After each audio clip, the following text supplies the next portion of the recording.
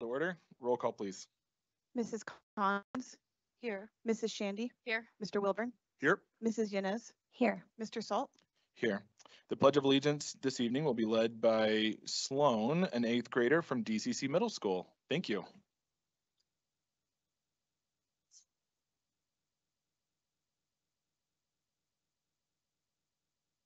I pledge allegiance to the flag of the United States of America and to the republic for which it stands, one nation, under God, indivisible, with liberty and justice for all.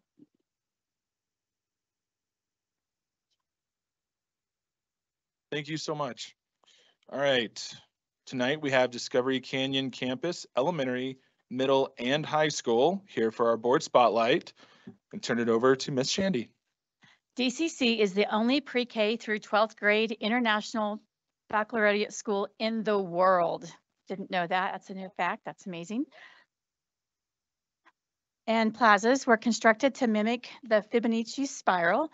Uh, Interior designs, color schemes, and features were designed to inspire inquiry, questioning, and discovery of scientific and mathematical ideas. One of the former students, Ashten Prechtel, won a women's college basketball national championship a few years ago and was drafted into the WNBA last spring. That's awesome. They have an award-winning coffee shop on campus called the Canyon Cafe. Please welcome elementary school principal Steve Scott, middle school principal Veronica Lehman, and high school principal Matt Mitchell.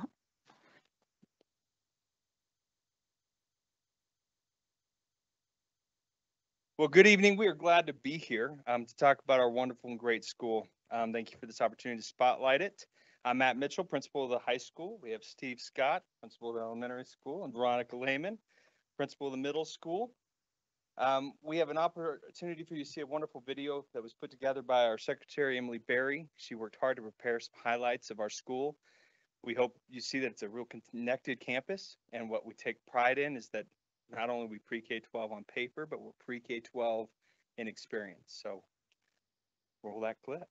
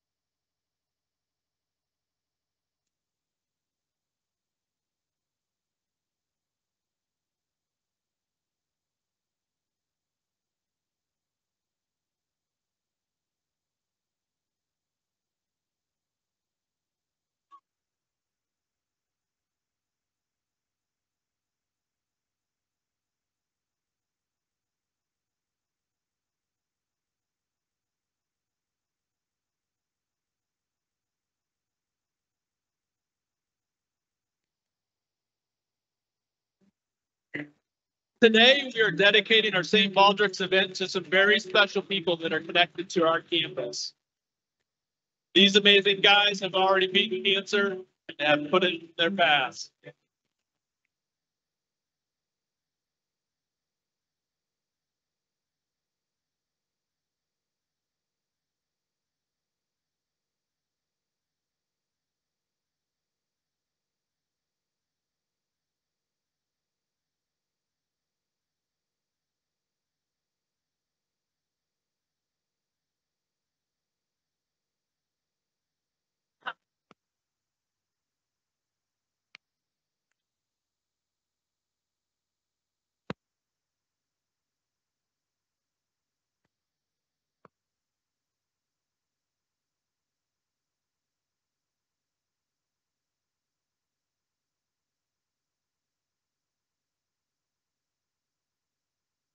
Good morning, good, good evening. It's been a long day. It is my absolute pleasure to introduce to you Miss Abby Mitchell. Abby, if you could please come up here. Abby is a brand new fifth grader to DC Elementary with a couple close ties. Her mom is a kindergarten teacher at DC Discovery Canyon Elementary, and her dad is the high school principal at DCC High School. So we are incredibly thrilled to have Abby join not only our campus, uh, but also to be able to speak and highlight what it is that makes us so great.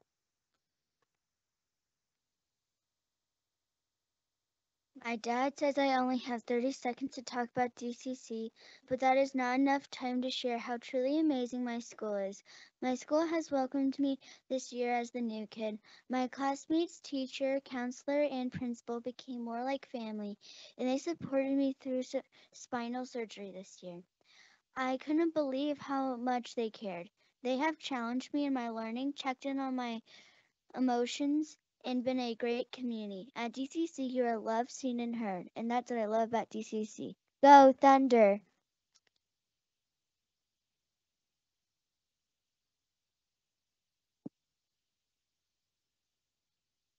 Today, for the middle school, I get to introduce Sloan Fabier, so come on up.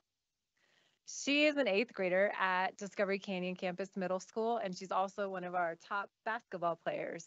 She's also student body president um, for our student council. Sloan's parents are Matt and Courtney, and she also has a sixth grade brother who attends DCC Middle School and is in sixth grade. Oh, one more fact. She's been with us since preschool. Um, as Ms. Lehman said, my name is Sloan, and my favorite part my favorite part about being on our campus is our athletics and clubs and also the school staff. I'm a bas- I'm a basketball player and like many other athletic teams on our campus, in addition to working hard on our sport, we have team dinners and fun end and fun end of season events. Our coaches teach us to work hard and develop good character, but that we also have but that we also have to be good teammates and good game players. We have tons of fun clubs throughout the campus. Everything from Rubik's Cube Club to fly, fly fishing, National French Honor, Honor, Soci- Honor Society, it, to Thun- Thunder Coders Club. I love being involved in our school by being part of the student council. Lastly, our school staff members are special. Our teachers plan fun lessons in our academic classes, like our Marshmallow Lab in 8th grade science. Our discoveries or elected or electives classes are cool too, as our school offers things like Gateway Technology, peer partnering, and next year in the high school, we will have fiber arts where students can learn to sew. Our teachers really care about helping kids who struggle through our school, helping through our after school help programs and lunch bunch. I, I feel like our staff is invested and will help and is helpful to things and helps us and offers stuff that we need. Uh, it makes coming to school fun.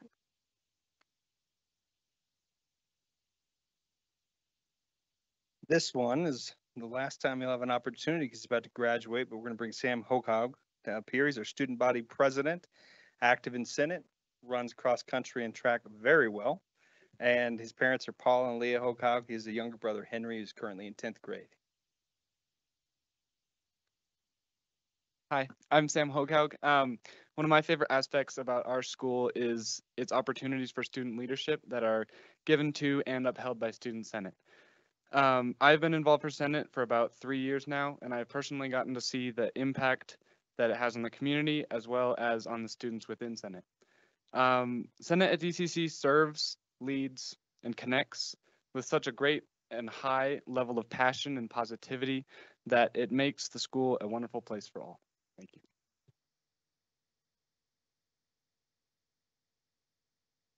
And now we have 10th grader Garrett Locke. He had an older sister who graduated a few years ago, Jessica. His parents, Joe and Aaron Locke, are active in the school as well. Served in Senate, also runs cross country very fast. Here he is. When I think back on my seven and a half seven and a half years at DCC, my head floods with positive memories, but only one rises above the rest. For this story, we go back to when I was in sixth grade. During this year, our school fundraised over $60,000 for St. Baldrick's, and while this fundraiser is heavily money based, it is supported by head shaving. It was towards the end of the day, and my sister, having organized the event, had a massive weight lifted off her chest, which led to her deciding to shave her head. In a, in a matter of minutes, we were sitting side by side, holding hands, and getting our head shaved. More than just being an incredibly special moment, it was the first time that I had felt truly connected to my sister, considering the large age gap. While this was just one moment, it perfectly encapsulates DCC.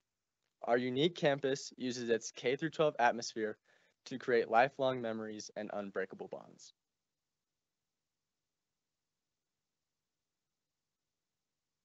So thank you for giving us this opportunity. It's very important for us that we connect our kids and that all of our kids are seen. And if you'd like, as long as the weather permits tomorrow, we'll be having our St. Baldrick's Day Assembly, pre-K twelve. That's a lot of people in one gym. Thank you.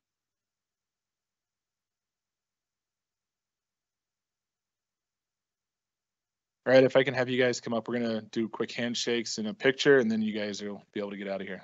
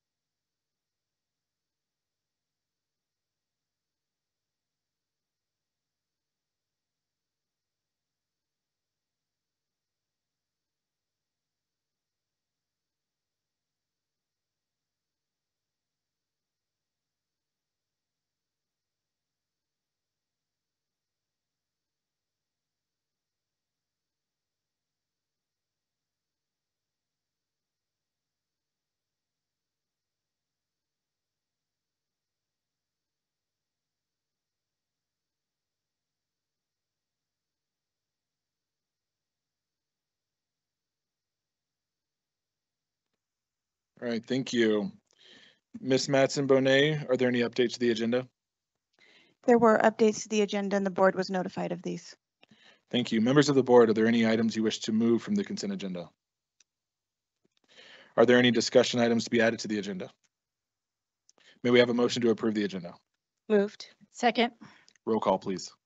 Mrs. Cons? Aye. Mrs. Shandy? Aye. Mr. Wilburn? Aye. Mrs. Yanez? Aye. Mr. Salt? Aye. Tonight's board quote is from Miss Shandy. All right, it comes from the book, uh, Results Now 2.0 that we're all reading together and has been really awesome to go through. The price of substantial progress is a willingness to turn over rocks, even if what you see can really scare you. I changed it just a little bit, but um, that's what we do. That's what we're all doing together as um, as a board, as a district. We're not afraid of what may or may not be under that rock, and we're willing to to look and evaluate and try to get better. So. Love it. Thanks for leading us through that, uh, Superintendent Haber. All right, thank you. Does anyone have anything to share for board comments this evening? Mr. Chair, Ms. Shandy? I have a couple of things. Um, I'm not a huge picture or video person, but when you come across the gym in the, in the district, it's worth sharing. I was at Legacy Peak Elementary yesterday for community reading night and Miss Lawrence uh, is a, is a D20 gym. And I thought it was worth just really shining the light on her. She speaks English, French, and Japanese. It's amazing. So she read, this was just a short little clip. She read Very Hungry Caterpillar in Japanese. And I thought it was worth sharing because it's teachers that are amazing like this are, are worth shining the spotlight on. So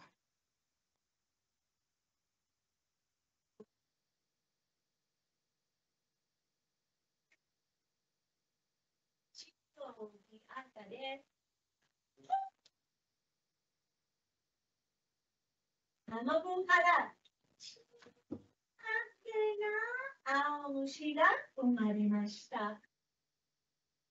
青虫は中がペコペコ。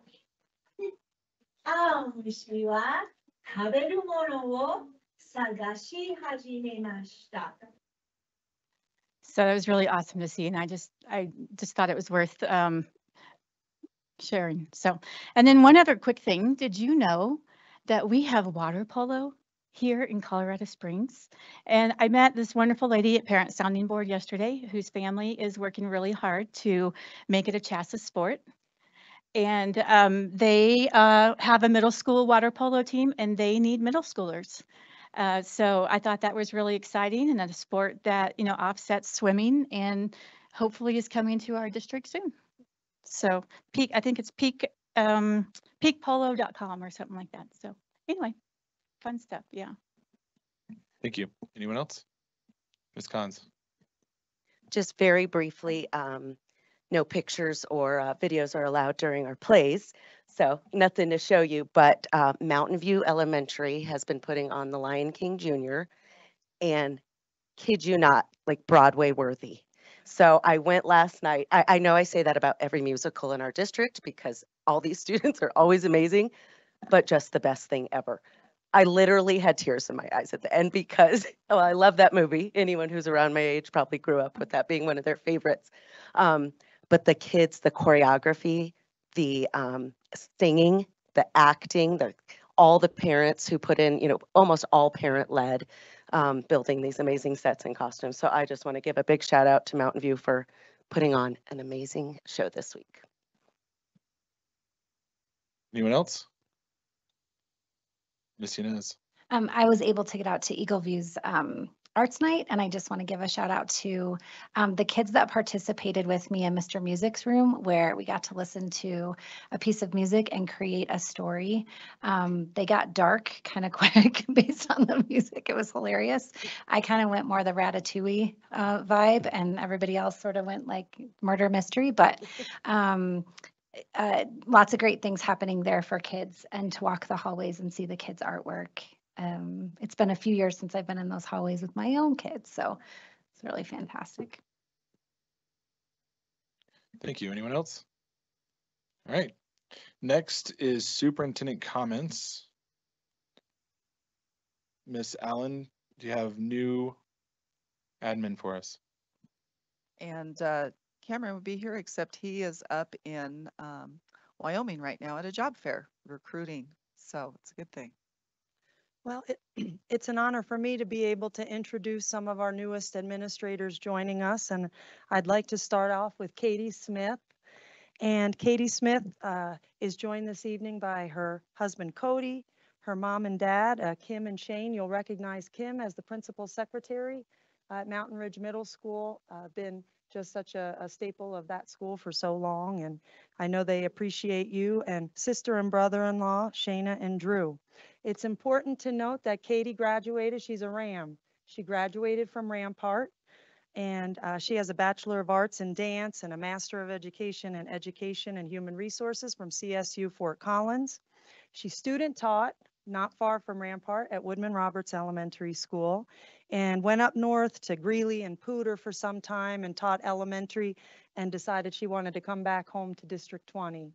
And uh, we're so pleased that she did. She was at Encompass Heights. She was a teacher on special assignment. And now she serves as an interim AP uh, over at Timberview Middle School. She is also uh, an outstanding product of our cohort here um, to, to earn her principal license and uh, did a great job in that cohort as well. So we are so pleased uh, to recommend that Katie tonight uh, for the position of assistant principal at Timberview. Is there anything you'd like to say?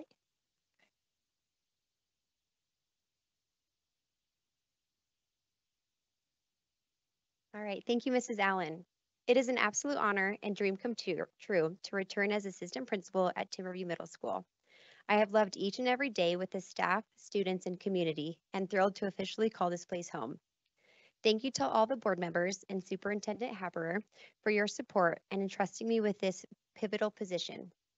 I'm a proud District 20 graduate and am forever grateful for my mentors, Jenny Stirk, Andy Ruskin, and Karina Bierman, as well as all my teachers, colleagues, and students along the way. The love and guidance from my husband and family made me where I am now. So thank you all for so much, or for everything you have done for me. Karina and the entire Timberview community, thank you for allowing me to keep my place in the pack and continuing this opportunity. We have so many great things ahead, and I'm humbled to serve as your AP. Thank you, and as always, go Timberwolves.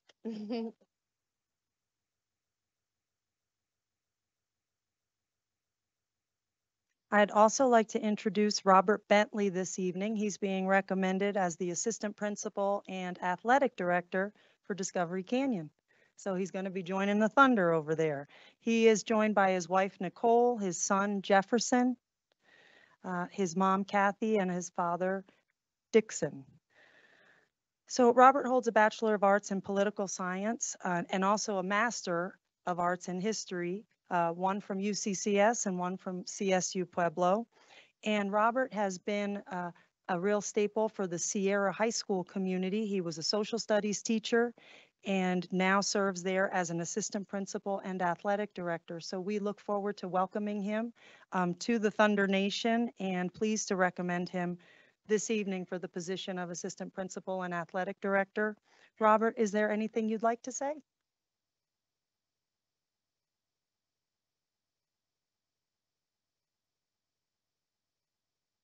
Thank you. I'll be brief. Um, I just want to thank you guys for the opportunity uh, to serve D20 and to serve Discovery Canyon. I'm excited to join the D20 family. Um, as somebody who's been in Colorado Springs a long time, um, you know, recognize this as a great district. Um, so that's why I'm eager to be here, but join that D20 family and be a part of the Discovery Canyon family. So go Thunder. Thank you.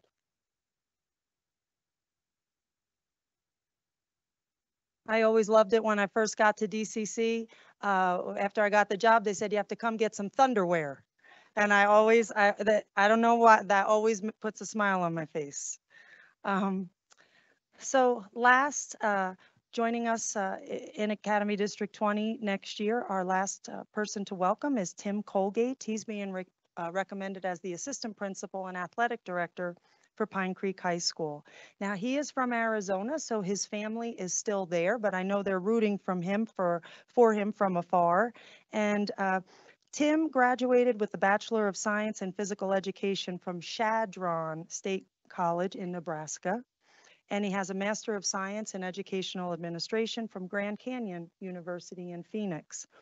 What I was really impressed with is he's worked as a teacher in South Dakota and Arizona as a physical education teacher, and he's taught every grade level, from kindergarten all the way up to 12. And currently, he's at Nogales Unified School District, and he served there as a teacher, then an athletic coordinator, athletic director, and now he's the principal. And we look forward to joining, uh, to him joining Pine Creek High School, and pleased again to recommend you for the position of assistant principal and athletic director. And some words if you'd like to share them.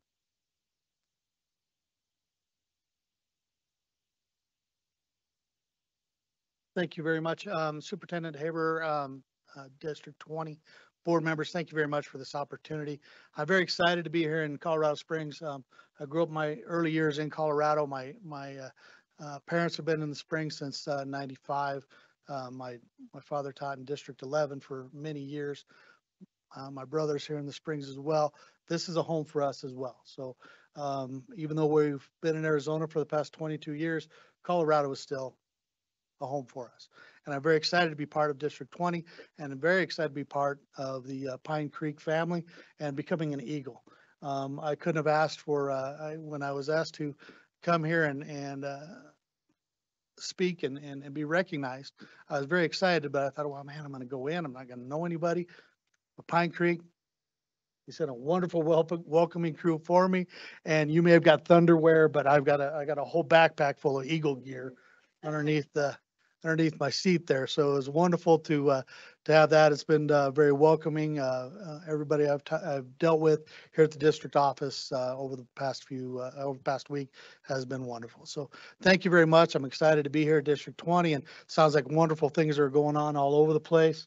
Um, and, I look, just very excited to be here and look forward to working, with you guys. Thank you.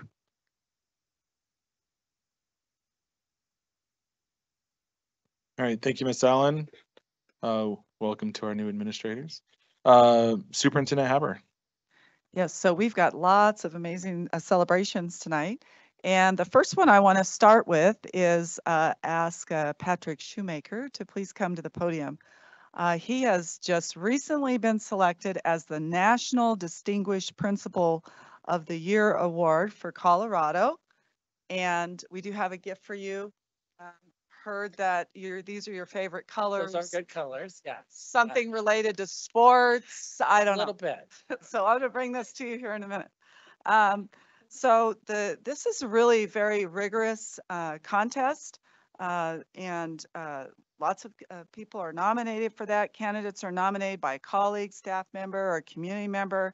Nominees are subject to a rigorous application and selection process uh, that really focuses on their leadership accomplishments, evidence of implementing proven best practices, uh, school and student data, uh, and feedback from staff and students and community, uh, and uh, the nominee supervisor. And Colorado selects one honoree each year by committee uh, comprised of current principal leaders from across the state. And so a huge congratulations Patrick, it's such a privilege to have you serve at the helm of Chinook Trail Elementary, and we're just so proud of you, and it's an award very well deserved uh, by your leadership. So would you like to uh, share anything? Well, first of all, thank you. Um, wow, I didn't think I get took up. Um, I don't think it's without accident that our theme this school year was this, what this school year was our story. Because as I put together this, well, it was six essays and went through the interview process over the past week. All I did was retell the story of our great team and what our school's accomplished over the past thirteen years. So I may have been named as the award, but I've had a great team. Um, BJ Campbell was my assistant principal for twelve years. And Corinne Kessler and Cheryl Dahl are on our admin team this year. And we have an amazing, I'm blessed with amazing, talented staff um, that works incredibly hard for kids. We have a parent community that supports us with whatever we need and are involved in our school. And the most important thing is we have the best kids in the district and they made telling our story all worth it. Um, I don't want to go through writing all those essays ever again. Um, but it was a very humbling experience to look back over thirteen years and see all the great work we've done at Chinook as a team. So thank you. So thank you, and uh, board, if we want to get up front and we'll uh, do the Walk of Fame with uh, Mr. Shoemaker. And then uh, if all of the uh, folks that are here from your school want to And come I, up, we'll can take I a interrupt for picture. just too. a second? Because I made this mistake at CASE two years ago where I didn't thank my wife. And I am not going to make that mistake again.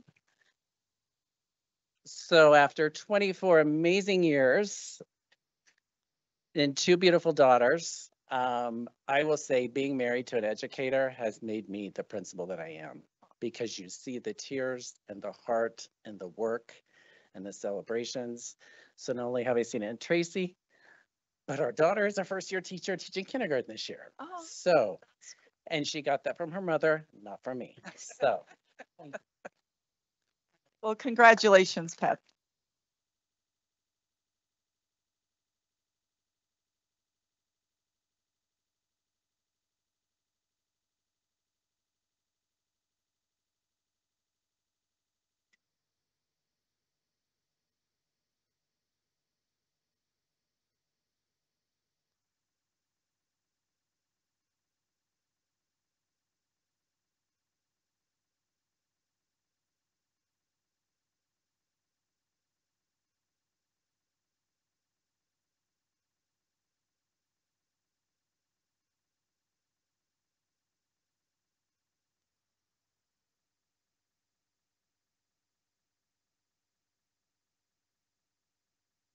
Guys, act like you love each other.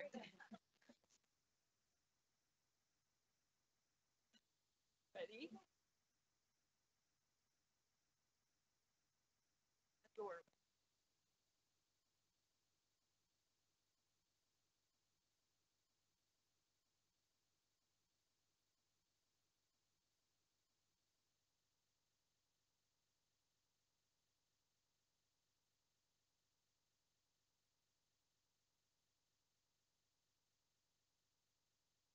I'd also like to mention that Patrick will go on to the National uh, Elementary Distinguished Principal of the Year to compete for that. More essays, sorry.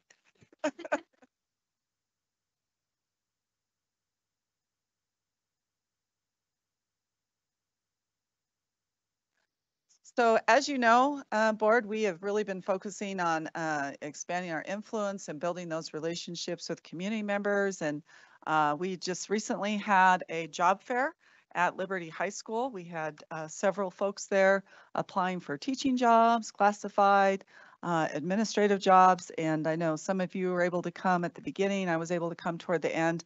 And it was just really a great time to share about the great news and good stuff that's happening here in D20.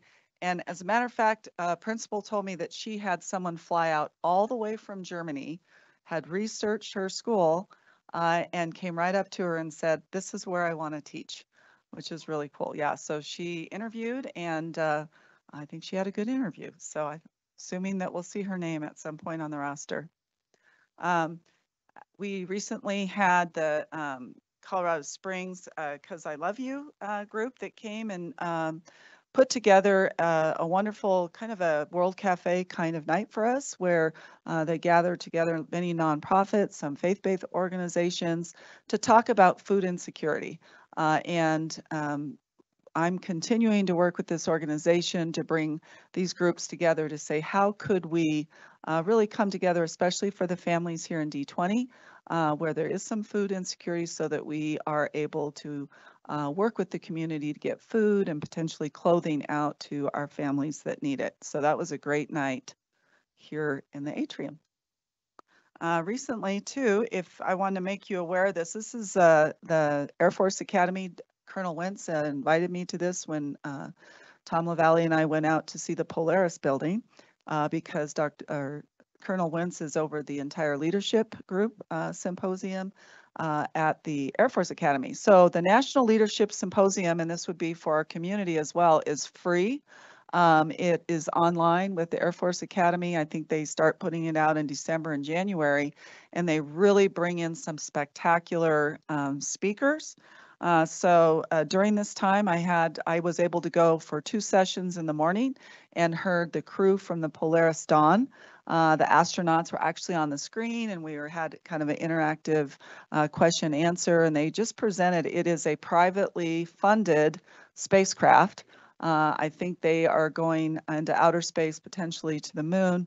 Uh, sometime this summer, early fall, but their goal is to make it so that space travel is possible for the average citizen, not just for astronauts at NASA. So uh, it was really fascinating to hear their in, inspiring um, ideas and just what their vision was for that. Um, I don't think I would probably be, want to do that, but there's probably some people that want to. They just talked about some of the challenges too, like with your eyes, when you have all those changes in pressure, it can just wipe out your eyesight and uh, it's pretty hard on your circulatory system. So I'm I'm excited because I think we'll see some um, inventions around science and medicine that'll come out of the research that they're doing uh, to try to prepare to go into outer space.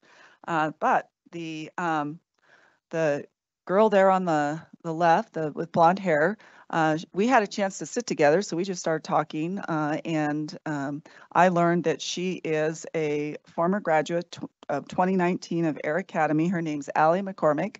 So we had a chance to listen to the Polaris Dawn, and then we had a chance to hear uh, Missy uh, Johnson Franklin, who was the five-time gold medalist swimmer. When she was 17, she won five gold medals, and then she went back to the Olympics when she was 21 and won another medal.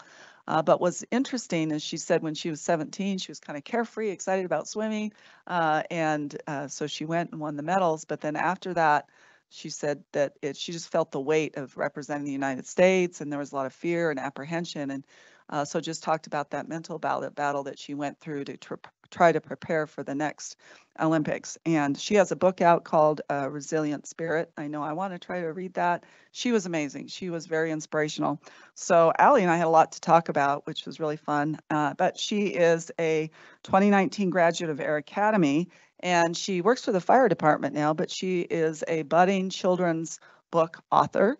And she just wrote a book called uh, Fear or Faith And I asked her, I said, well, has anybody illustrated your book for you? And she said, no, I'm still looking for that. I said, well, if you're an Air Academy grad, how about if I just go down to Air Academy after here and talk to uh, Liz uh, Walhoff, the assistant principal there, and see if there's students at Air Academy that would be willing to illustrate your book. She's like, that would be great. So I got her contact information, gave it to Liz. Liz went and then she is in the process of finding uh, students who would be willing to do that. And I think Allie uh, might be also was excited about just talking about how she uh, got the inspiration to be an author, especially with some of the creative writing classes. So I think it's just, you know, always how do we all just be on the lookout for trying to make those connections uh, with our students and giving them some of those opportunities. And I couldn't help it. I was right at the front door and Matt Westride, the young man on the right, uh, came walking in. He was kind of dragging in. And Liz is awesome. You know, she gives him a hug and says, Hey, are you okay? And, uh, you know, one of our board ends is character. And this young man, I thought, really showed character because he said, Well, I've been up all night. I had to get up around one to take my mom to the airport. I drove her all the air, all the way to the airport, only to find out that she left her cell phone at home. So I had to drive all the way back, get her cell phone, drive all the way back over and get it to her. So he was literally up all night. And he says, but you know, I knew I had to come to school. So he said, I took an, a, about an hour nap and here I am because I know it's important to be here. I thought, oh my gosh, I've got to tell that story and show your picture because I'm just an example of the amazing kids that we have uh, and uh, the character traits that we want to see in our students. Uh, and then recently I, I, went to the Teacher Appreciation Night hosted by the Church of Latter-day Saints. Uh, and it was just really a great time to celebrate our teachers. And the theme that I heard over and over again was uh, students just love uh, all of their teachers, but especially teachers that see them, that know them, and help them to understand their strengths and really start thinking about what they want to do uh, when they graduate. And uh, thank you to Director Shandy and Director Yanez. Uh, we had a chance to go to the Capitol uh, and uh, it was great. Uh, Representative Wilson let us be on the floor with them, uh, which was fun. and I've been to the Capitol now three times in two months. So I know Senator Lundeen's like, oh, it's you again because every time I'm talking about funding, right? And especially the need to fully fund special education, which still is not fully funded and needs to be funded. And we've also been talking, all of us, and I appreciate you guys being there with us. Um, and we also talked to uh, Representative Puglisi uh, around there is that financial task force uh, that is working to redo the financial formula for our state.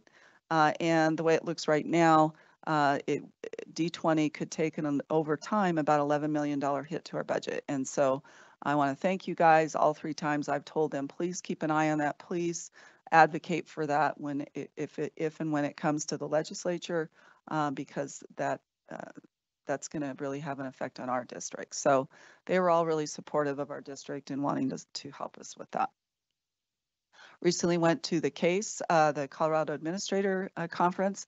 And what was great about that is there's a, there were several sessions around artificial intelligence and using it as a tool uh, in the classroom and really how it's going to transform our society in the future. So uh, we all learned some really good information about that.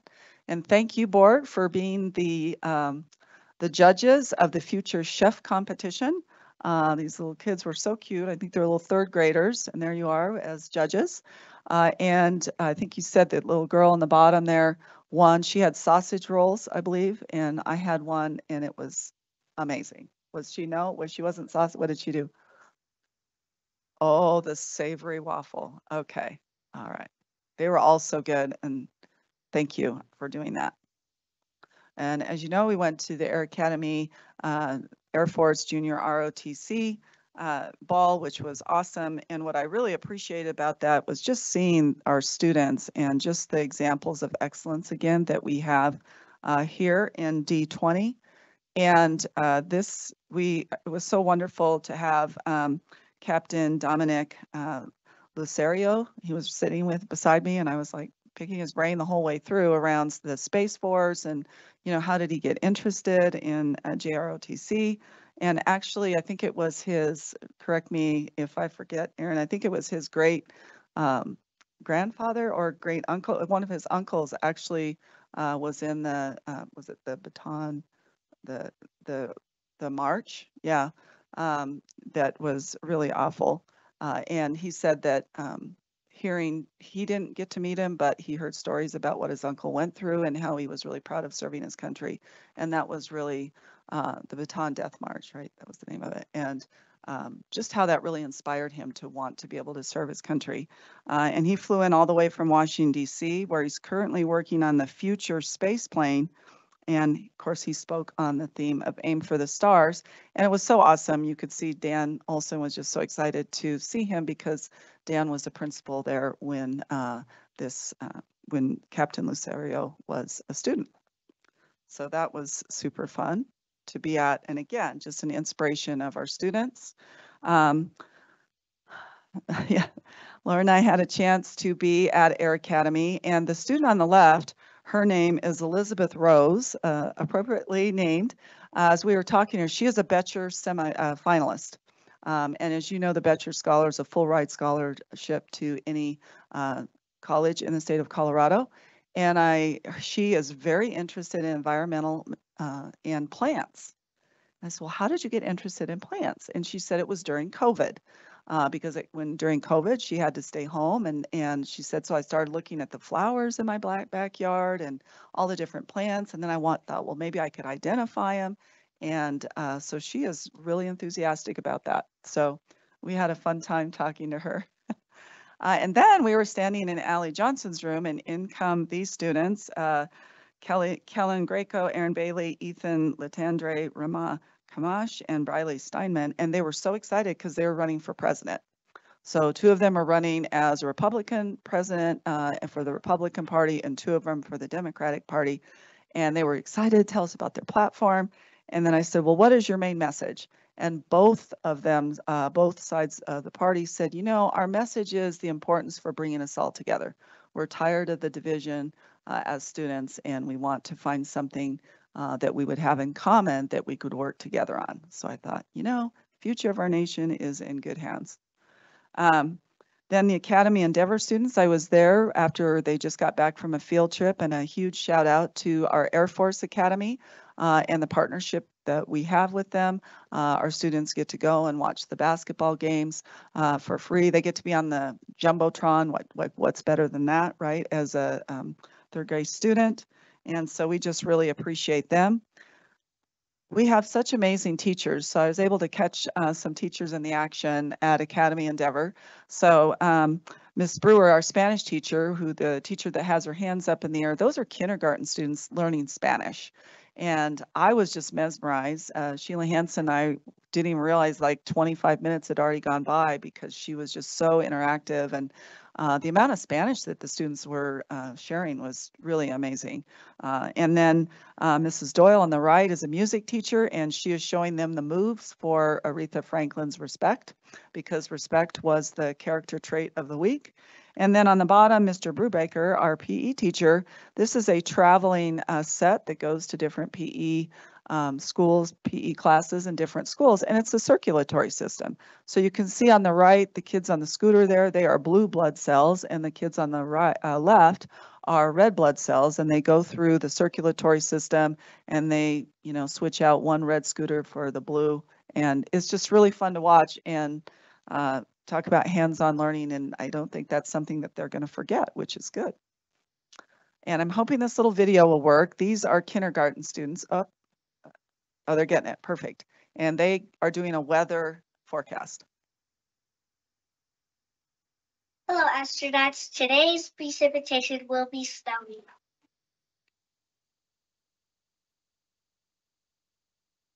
I'm gonna wear a hat today. I'm gonna. Oh.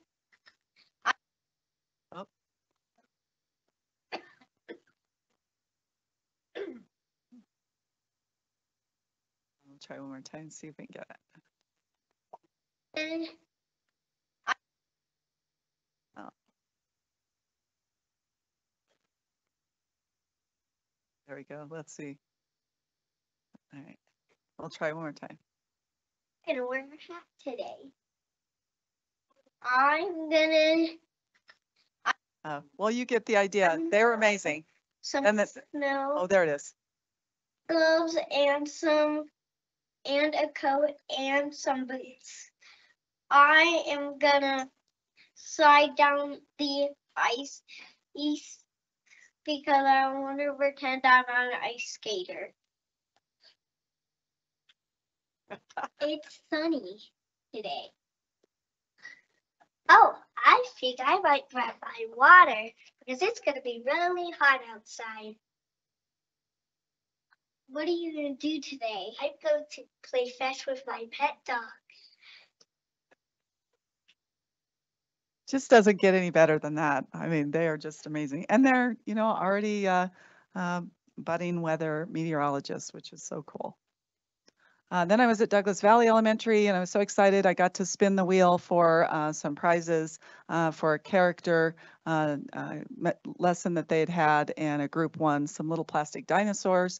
And then uh, Adrian Maury, our wonderful principal there, showed us this kind heart board where students can put a heart up and give make a little message to somebody that did something kind for them. So I thought that was a great culture builder. And then at Frontier um, Elementary, uh, had a chance to meet these amazing teachers. And uh, Mr. LaRue is an art multimedia teacher, and he had students uh, make the world that they would want to live in. Uh, so they made a world, and then they talked about what would be the ideal world that they would want to live in, and what would that what would that be like. So just had some great ideas there that students had. Um, and then uh, our preschool preschool teacher, Mrs. Andino, uh, she's a special ed preschool teacher. She was so passionate. Like I just was had so much fun being in there. And what's cool is those little um, drop downs are all the different students in her class, and they she has that running like a if they say like a well-oiled machine, right? So all the kids knew what their routines were. They'd be like, "Excuse me," and they'd put their little check where they were uh, on their routine, and then they knew where to go next. And the kids were all moving around and with purpose. And I just thought that was really empowering for preschool students. So um, again, another inspire, inspirational time. Discovery Canyon, I had a chance to go to She Kills Monsters. I had to rearrange my calendar and wasn't sure if I could go. The last minute I could go, and I saw Heather in the uh, lobby, and she says, "Well, we happen to have an empty seat by us." So I had a chance to sit with her, and then I met uh, Julie Ott, who is a D11 uh, board member as well, and um, just always appreciate Heather because she introduces me a lot of people. So I met a lot of students and other folks. And I will tell you, this play was very pro- professionally done, um, and the students were amazing. Uh, as Pine Creek High School, uh, for a girls swimming uh, champions, uh, state champions. I think they won that again. They won that last year, uh, and I think they're already predicting that there's a good chance they could win it again next year, right? Uh, so we are really proud of them. And the swim coach is amazing. He is up for swim coach of the year, or was selected as coach of the year, I think.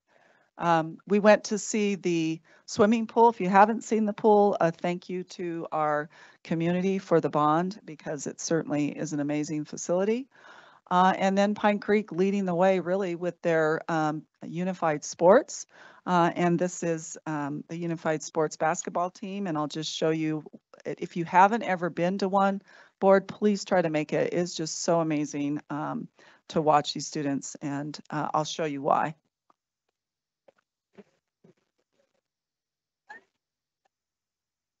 So uh, it's awesome, very inspirational. Uh, on March 9th, they will play in the Unified Showcase game at the CHSAA State Finals. And then uh, Pine Creek will participate in the high school basketball state finals for the Special Olympics. So Pine Creek is really leading the way uh, with their unified sports and um, pairing up with Special Olympics. Um, our um, Air Academy, we had some students that won some major awards with um, DECA. And um, Ali tells us, let's see, who is it? Um, that this student, he, the students here, they've worked in, worked several hours to getting these awards. Uh, and uh, they are going on to qualify for state. And then uh, Mr. Wilburn, would your dir- Director Wilburn, would you like to talk about your son? I know had a chance to talk to the JROTC uh, class because I know that your son is a fighter pilot. Do you want to just share a little bit about your son and the message that he had to them? I'd be happy to. Um, so actually, he flies tankers. He's not a fighter pilot. So our oldest is a 20 is a D, D20 graduate. as are all our kids. Uh, he's a 2018 graduate of the Air Force Academy, 2020 graduate of Air Force Flight School, and now he's stationed in Spokane, Fairchild, Fairchild Air Force Base uh, in Spokane, Washington. Um, he's promoted to rank of captain, and they just promoted him to left seat. PIC, uh, pilot in charge. So he had to report to Altus Air Force Base in Oklahoma for PIC training for a couple of months and decided to drive. So we used our house here in Colorado Springs as the halfway point, spent a couple days with us, and then went on down to Oklahoma. Uh, on his way back, I asked him, would you consider going to the JROTC program at Air Academy and, and talking to the kids there about uh, being a pilot and getting into the academy and life in the military and what have you. Said, I'd be happy to. So we were there, I think it was two Fridays ago. He spoke to the aerospace engineering class, um, which was great. Just bunch of questions that Becky Allen would ask. Uh, uh, all uh, very fact-based, facts, figures, fluid dynamics, all this type of stuff. Uh, then we spoke to all four of the ROTC classes, freshman, sophomore, junior, senior, about what it takes to get into a military academy, what's life like once you're in an academy, what have you. Uh, Dan Olson uh, and I will set the whole thing up. Mr. Olson's incredible. I said maybe um, we can get Colonel Huber and and have somebody in the classroom that high schoolers may find a little more relatable than those of us with a bunch of gray hair. And they pulled all the strings and made it happen. And we spent the day at Air Academy uh, two Fridays ago. That's awesome. Thank you so much for giving our students that opportunity. That's really awesome. And I got a lot of positive feedback too from Colonel Hubert and the students that heard him. So I asked uh, Ron Alexander, our district athletic director, to just kind of give me a rundown of all of the amazing uh, awards and celebrations from sports. And I'm not going to read through all of them, but they're all here uh, and um, it'll be in board docs so we can celebrate them. But you can see Liberty, Discovery Canyon, Air Academy. Um, and I did get an update, Air Academy girls basketball uh, did go uh, to the state championship, but they lost their game v- very close, 66 to 70 in overtime this afternoon. Yeah, they're very close. Um, and uh, Pine Creek uh, boys wrestling, uh, I know I got to sit near the champion, the student who has just won many, many awards in that um, area. And then certainly you can see the times for our state meet records and the list of all of our all-state swimmers. And uh, Coach Kent Nelson was named as the 4A Coach of the Year in girls swimming. So huge congratulations to him. Um, and Discovery Canyon also brought home a 4A state debate championship. So the great happens here in D20 and we have a lot to celebrate. And that's the end of my report. Oh, wait, no, it's not. I'm sorry, one more. This is really amazing too. So we had three students at the uh, J uh, Air Force JROTC who won uh, full ride scholarships. And what's amazing about this is there's only 100 given internationally, and there's about 850 different uh, JROTC programs across the world, and there's only 100 that were given uh, total, and three of them went to students uh, in our district uh, two, one of them from Pine Creek, Emma Erickson, and two from Air Academy High School, Ryan Went and Wyatt uh, Baguess. So uh, again, again, great happens here in D20, and uh, we're just really proud uh, of our students. And now that's the end. All right, thank you. We're going to take about a five-minute break to congratulate the new administrators, and we'll move on with the rest of our meeting. Thank you.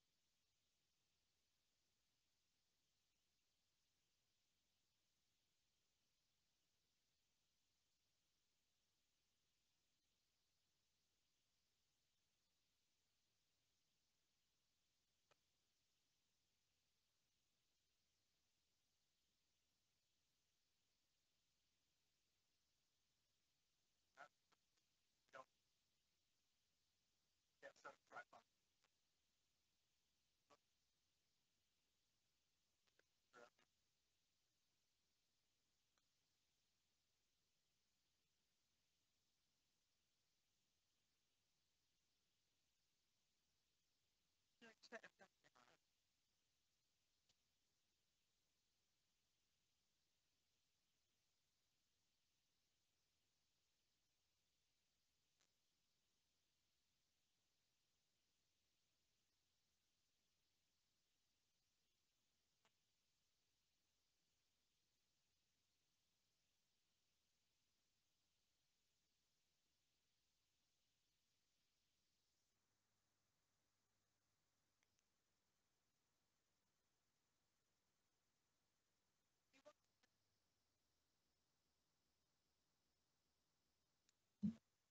All right. We need a motion to approve the consent agenda as posted. Moved. Second. Roll call, please. Mrs. Cons? Aye. Mrs. Shandy? Aye. Mr. Wilburn? Aye. Mrs. Yanez, Aye. Mr. Salt? Aye. We have thirty-eight attendees remotely. Uh, there are no items pulled from the consent agenda, so we'll move to the written reports. Uh, for the annual monitoring report for EL two point eight, emergency superintendent succession. Does anyone have any questions or comments? All right. We'll need to do the MRA. Is the superintendent's interpretation of the policy reasonable? Is there sufficient evidence to determine compliance for each section? Are all sections in compliance? Recognition of exemplary performance or concerns regarding performance? Would you like to see additional different evidence or should any part of this policy be changed in the next monitoring report cycle? Do you see evidence which is extraneous or no longer necessary? Okay. Next is the accreditation handbook revisions for school year 24-25. Were there any questions or comments? All right. Uh, next is the Board of Education proposed discretionary budget for fiscal year 24-25. Were there any questions or comments? All right, moving right along. Presentations, uh, parent choice and library book, Superintendent Haber. Yes, I would like for um, Dr. Field, uh, please. Good evening, board. I was like, where is, sorry. I'm right here. So it's my pleasure to introduce Tacey Killingsworth, who's our Director for Curriculum and Instruction, and Carol Bramschreiber, who is our District Literacy Library Media Specialist. Take it away. Good evening. It's an honor to be here tonight. Um, and like Dr. Field said, Tacey Killingsworth, Director for Curriculum Instruction and also um, Overseer of Libraries. Um, and so it's a pleasure to introduce Carol Bramschreiber, who's just going to review for you um, some of the great options and choices our parents in Academy District 20 have when it comes to engaging with their children into, into the library world, if you will, and talking about reading and what's important for them as families. Thank you, Tacey. Uh, Superintendent Harbour and Mr. Salt and board members, thank you so much for um, talking about books again. I appreciate that. Um, today, I want to talk specifically about the importance of family engagement and ways that our families can already access um, the Destiny catalog. It is our library um, catalog that's online and anytime you have Wi-Fi and access to the district website, you have, dist- you have access to our catalog. So um, tonight I'd like to share specifically the ways that families can engage with school libraries to promote discussion about what their child is reading. Our goal as a district is to have consistent communication for all families to know these options. The document that I provided for you in board docs um, is a draft of what will be posted on our school websites.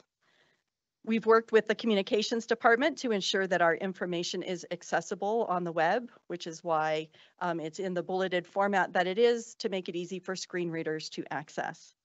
Additionally, we'll continue building visual tutorials for folks who would prefer to have screenshots of the steps along the way. Um, that's taking a little bit more time. Uh, these strategies to involve, um, uh, they all involve the district's online library catalog, Follett Destiny Discover is the name of the catalog, which anyone can access if you have Wi-Fi and a device at any time. These strategies can encourage family conversations about what you each love about reading, about how to read book summaries uh, and awards to narrow down choices. We have thousands of choices, and it feel if it feels overwhelming, those conversations can help your child understand um, what you look for as a reader. Um, it also can help conversations about what your family values when exploring ideas. It um, can help you talk together about what your child should be reading independently, what they might read with you as a partner, or maybe what you each find a copy for and then get together and have a little book date or something. Um, most of all, these conversations demonstrate the value that we place on reading, not only within the school day, but also the opportunities afforded to us outside of the school day because reading opens our world. I want to briefly summarize um, the ways that families can engage with their child's self-selected reading and in the school library. The first option or the first tutorial is about ways to access the Destiny Discover catalog.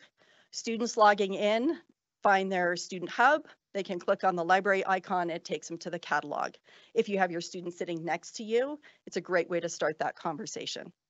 Also, if your student isn't with you, you can go to the district website and log in through Follett Destiny. If you would like to know what is currently checked out to your student, we also have instructions there so that you can have your student log in, go to My Checkouts, and click on it, and you can click on the titles they have checked out to access the summaries of what they're reading, maybe some related stories, some different areas that they might want to read if they're really interested in the book.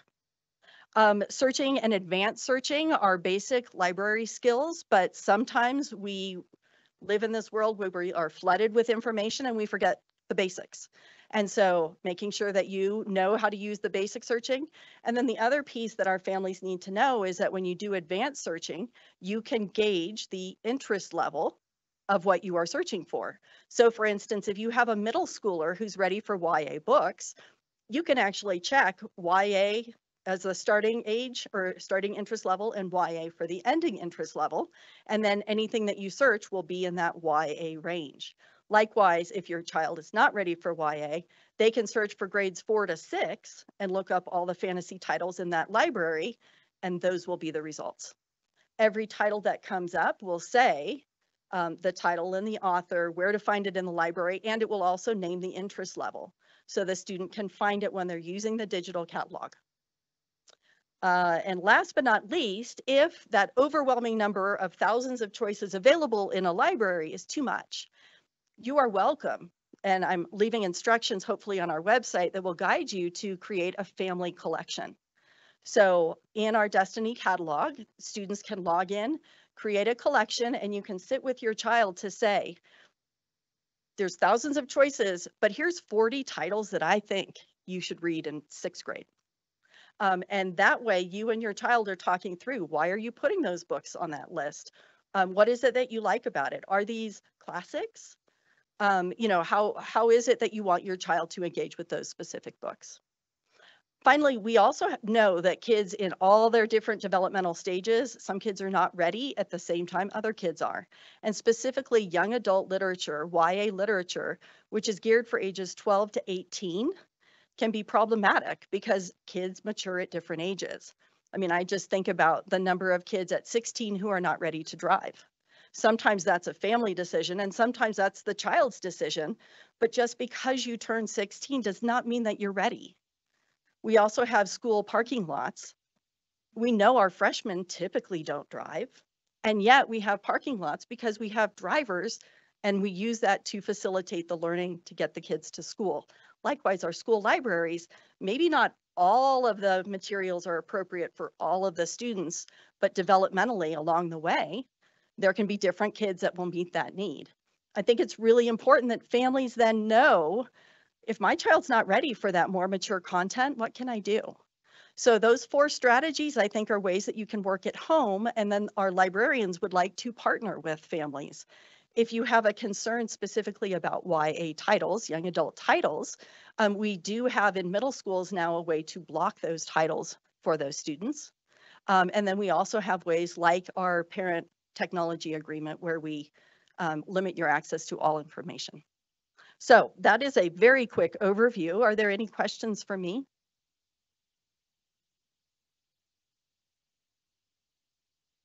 Uh, First, I just want to say thank you, Carol. Um, I know uh, when I got here, there were different rules, right? There are different ways that um, parents could have choice around uh, what their students read. And they were all kind of different at different schools. And I just appreciate you. I asked you to bring the librarians together. We had that great session to talk about what was already in the schools. And then I asked librarians if they'd be willing to come together, come to consensus around what could we say is, as true, right, around parent choice and uh, the different ways to guide students through those choices? Could we come to consensus around that? So thank you. You guys did an amazing job. Our libraries, uh, librarians are amazing and the folks that work there and just did a, a fantastic job, I think, of putting all that together. So thank you. Thank you. And we're eager to put that out. We wanted to present it to the board first. Uh, and then all the principals, it's been shared with them. They're going to put it on the websites. We'll put it on our website and just share it widely so all of our parents uh, know about these choices. So thank you. I really appreciate you. If I can just share two quick things. We celebrate the 100th day in kindergarten. Today, I believe, is the 100th day of our new policy. So- Yay. Worth celebrating. And we also have a million thirty-seven thousand circulations since August 1st in our district. That's awesome. So we have kids that are reading and Reading. extending their school day and hopefully falling in love with literature. That's great. One question for you really quick. Do you have an idea when you'll have the screenshots and sort of the visual aspect to go along with this? I need to go back and work with IT to make sure that what I think is correct is really correct. Um, and so I'm thinking maybe in the next week, we Perfect. should be good to go. Nope, that's great. Thank you so Okay. much. I really appreciate it. Yep. Thank sure you. Carol. All right, next is the strategic planning update. Superintendent Haber. Yes, so we have Dr. Smith, I believe, um, Yes, virtually. yes. Yeah, good evening, Board and Superintendent Haber. I really appreciate the opportunity to be able to present from home. I've been under the weather for a couple of days and hoping that we're on the, the uh, recovery side of things. But we're excited tonight to share with you the progress that we've made in our strategic plan through the third quarter this year. And while we're going to focus mostly tonight on uh, academic achievement, all targets and metrics for academic achievement, as well as the other six strategic objectives, are in the board packet. So if um, folks are wanting to see the updates for all of the six strategic objectives, we do have that posted. But before we get, oh, next slide, please. But before we get too far down the road, we always like to stop and remember what our guiding North Star is, what, what our focus is, and it's the board's global end statement. It states all students will have the knowledge, skills, and character necessary for successful transition to the next level, and upon graduation will be fully prepared for success. So this is a measure that we kind of think about, a funnel that we think about when we're doing the work with our strategic plan to make sure that we're in alignment there. Next slide, please. Right, and as I've shared before, we really started this work back in 2019. And um, obviously, as a lot of things happened uh, during the pandemic, progress slowed on developing the strate- strategic plan. But as you can see here, we began in earnest rolling it out in 2021 with cultural belonging. And then now, next slide, please. This year,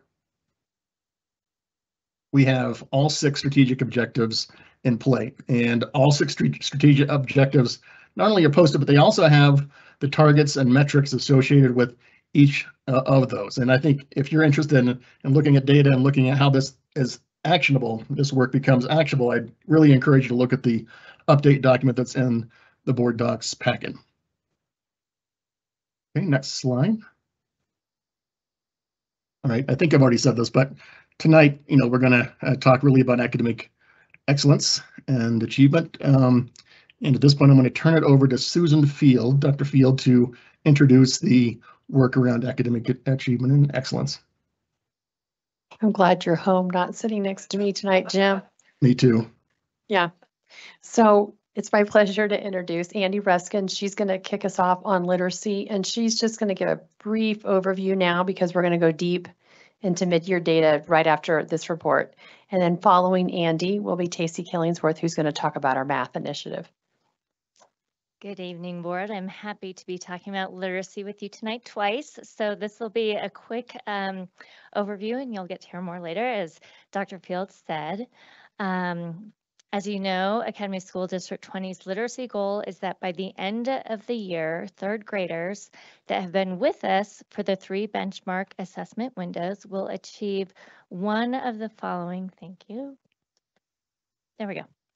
Um, one of the following. At least 85% will read at or above grade level according to DIBELS 8. If not proficient, they will have moved out of the well below range or they will read with 95% accuracy.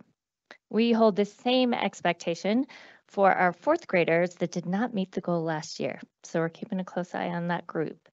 Um, as you can see, at mid-year, 40, excuse me, 74% of third graders are already reading at grade level, at or above, and 114 of our fourth graders from that 157 student cohort of third graders that did not meet the goal last year are reading with 95% accuracy. So our mid-year number was 79. We're already at 114. So based on these mid-year targets um, and results, we are on the track to meet our end-of-year goals.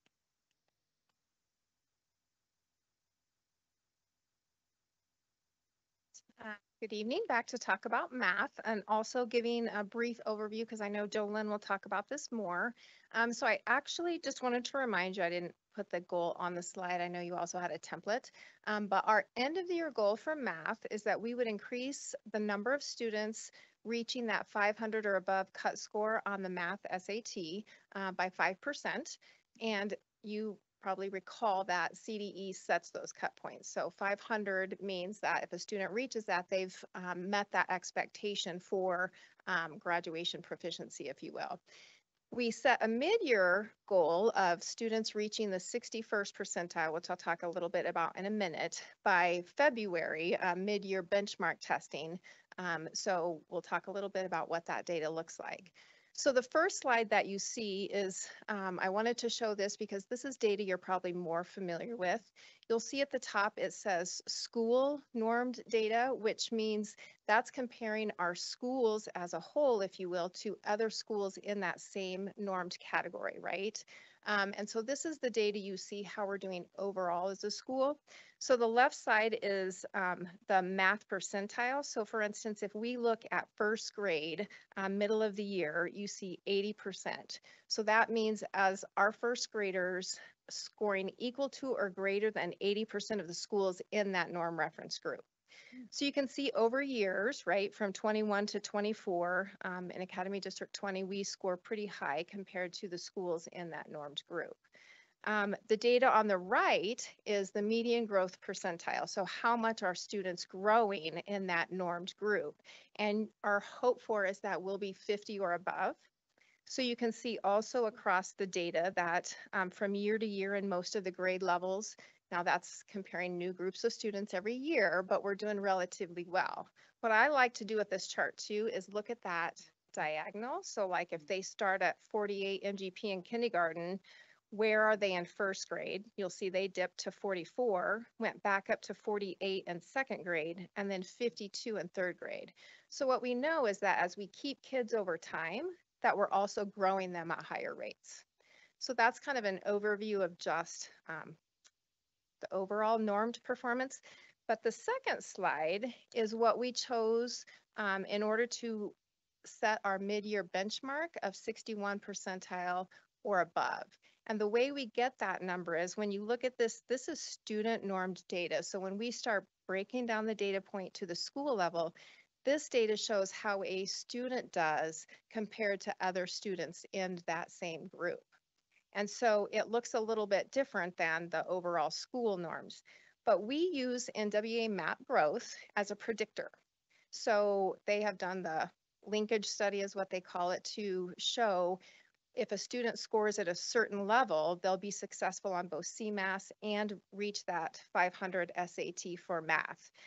What we know is even though MEETS is uh, between 41 and 60, we see the linkage study shows that our students need to score at 61 or above to truly be on target to meet that 500.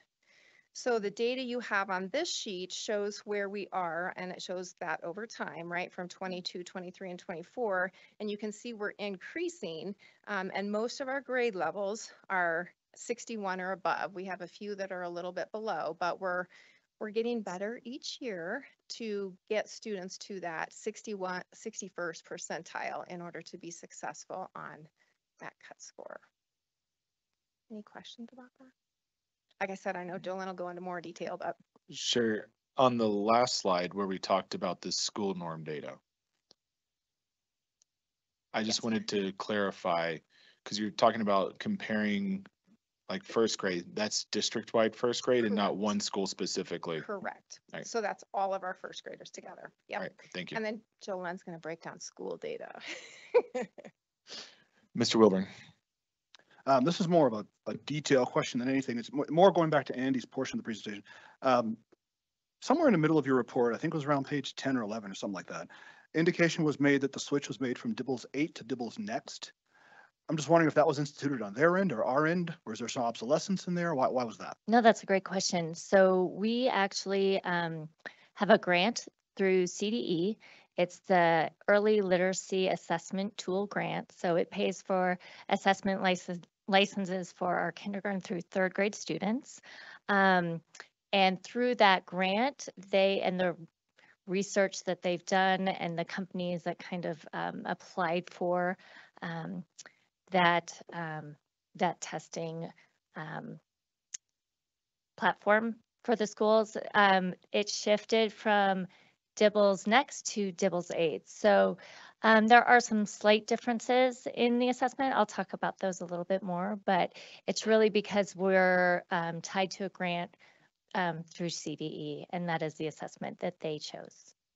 Okay, so it wasn't any, any reason other than that? Okay. Nope, just saving a lot of money and getting the same data, data for it. Yep.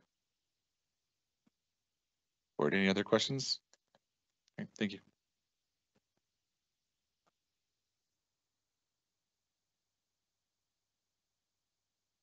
All right, next is the mid-year assessment update, NWEA map growth and Acadience Read Act data. Superintendent Haber. Uh, and we have Dr. Susan Field and uh, Jolene is coming up instead. And Andy, yes. So this is our mid-year assessment update. And uh, they'll, they'll, Andy and Jillian will talk about when students were assessed, um, some before the winter holiday break and some after. But this is our mid-year map growth and our REDACT Dibbles 8 report. Take it away. So as advertised, Andy and I will be sharing some information with you. Tonight, I will be looking at our benchmark data from map growth, and then Andy will be sharing around DIBELS 8. So, um, I let's keep clicking. So some of the things we want to think about is that we just heard about the strategic plan, and so we saw some of the data reflected there. You may think back to when you first started your new jobs here as our board members in December. Dr. Field and I presented on the E11 report, which included some of this data as well. So tonight we're going to look a little forward in how our students performed from fall to winter on our map growth testing. So just a little background, MAP growth is one of the assessments in what we call our balanced assessment framework. So we want to assess kids in different areas. And so we have formative assessments, summative assessments. This assessment is what we would also refer to as a benchmark assessment. So students are going to test two or three times a year. So we're going to be able to see how they're doing before we get to a CMAS or our state testing, which would be a summative assessment that we would do one time a year. This assessment is done, um, it's computer adaptive. It is nationally normed. There's over 11 million students nationally that participate in these assessments. It is also aligned to the Colorado academic standards. And one thing that's unique about MAP Growth is it really provides our teachers um, information about their students' instructional level. So instead of saying Jolin's at a third grade level, it would say this is what Jolin's ready to learn by specific skills and information so that teachers can target instruction um, for their students. So we have language arts and math. And so kids in grades four through 10 participate in language arts. And that's because our students are already participating in the DIBELS testing for READ Act with, um, pointing at Andy like it's her, but, um, no, but it, the the literacy piece. So some of our schools do choose to test their students in K3 on map growth as well, but that is optional because we just want to be conscientious of how much testing we're doing with students. And then our students kindergarten through eighth grade test on the math platform as well. So then when um, Killingsworth had referred to some of our data, so this slide I will tell you is the exact same data um, that Tacey shared. And so it looks at, as she shared, um, so with map growth data, they're looking at um, average scores. So we're looking at math achievement here on the left and looking at those percentile scores. So for example, if we look at 2004 the kindergartners scored at a 94th percentile, meaning as a group, they scored better than 94% of the students that participated in this assessment. And then we're looking at on the right hand side of the page, we're looking at map growth, which is that median growth percentile score. So when we do a median, they take all the student scores, they line them up, and they look for that middle score. And so that's where those scores are generated from. So we have those pieces by um, each grade level. Tonight at your um, seats, I gave you um, data and information by school as well so that you can take some time and look at that. You'll want to look carefully at the top left corner because it'll say whether it's achievement data or whether it's growth data and whether it's math or um, reading ELA and then the different levels. So the front of your packet looks at the elementary schools and then the middle schools and the high schools compared to each other and how they're performing. So another piece I want you to know is that you have access to a OneNote where we've stored historical data and information. And so that might be something we want to go back to for um, some of our newer members to make sure you um, know how to access that. So all this data has been put in there as well. And then when I've presented data previously, we put it in that OneNote for your reference as well. And then there's a lot of information around, um, it would have the graphic we used for our balanced assessment framework, some of the work I did this fall with the board. It's just a place that you all have access to that you can um, go back and find that information. And so all of the green and yellow is what I would say tonight, the packets that I gave you. Um, are also a lot electronically prepared in that OneNote for your reference as well. Um, so the next piece we're going to look at, and one of the things we want to really think about too is really where we make change is when we start looking at the data at the individual school level, but really the individual grade level and the individual teachers, and then at the student level. That's where we see the most work and the most change for our students. So this next slide looks again from fall to winter, and this is looking at reading. So we've represented grades four through 10 um, in the achievement side on the left-hand side of the charts. And then on the right side would be those growth percentile scores again, um, the median growth percentiles for our students. And again, looking at how they performed at a school norm level uh, compared to other students across um, the United States that have participated in this assessment as well.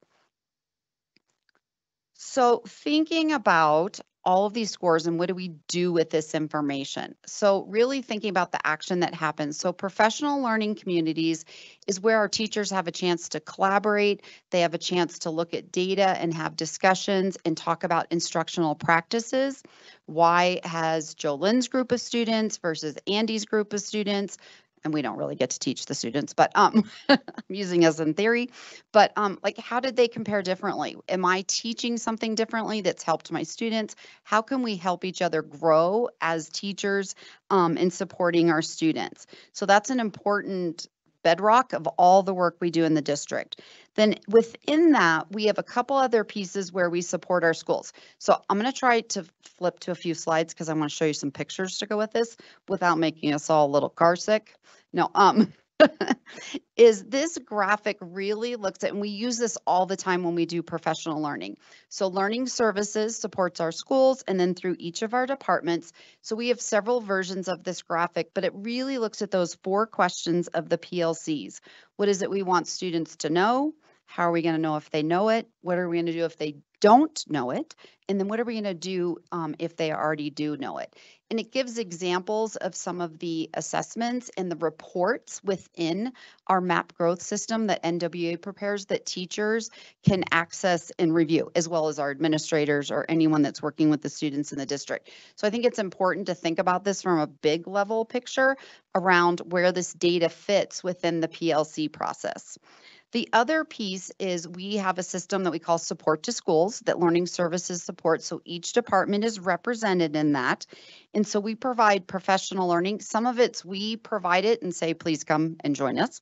Some of it is customized support where schools can say, this is an area we want some additional support. So this year, some of our teachers on special assignment or TOSAs have done work around rigor with our schools. Um, recently, we did um, some personalized support for Pine Creek High School along with um, Challenger Middle School and Chinook Trail Middle School because they wanted to get all of their teachers, all content areas together so that they could talk about their instructional practices, the standards they're focusing on, and then really looking at that, how do kids coming out of middle school, how are they prepared to go to high school? and what things as a middle school teacher could I do to help prepare our kids for that piece. So that's when we really start looking at that continuous school improvement process and using data for decision making. So those are some examples of how um, we've used that data cycle work, not data cycle, sorry, I got ahead of myself, the support to schools work um, to support our schools. The next piece is data cycles. And so data cycles are something we started three years ago about um, as a learning services team, where we really just started to get in front of our administrators to build data literacy because sometimes it's complicated. Sometimes every assessment has different cut points and different pieces of um, information.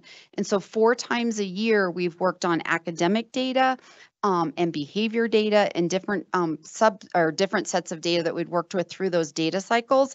And we've really started to see um, how that's helping the work that our schools are doing.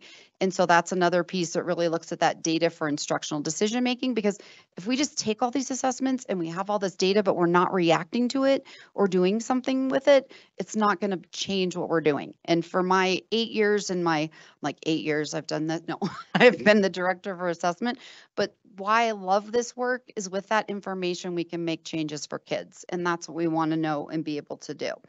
Um, so I'm gonna scooch us ahead for just one second so we can see a couple more slides here that I had. Um, so the data for decision making, some of the questions we ask ourselves. So at the back of your packet tonight, we um, are asking ourselves, how are kids doing?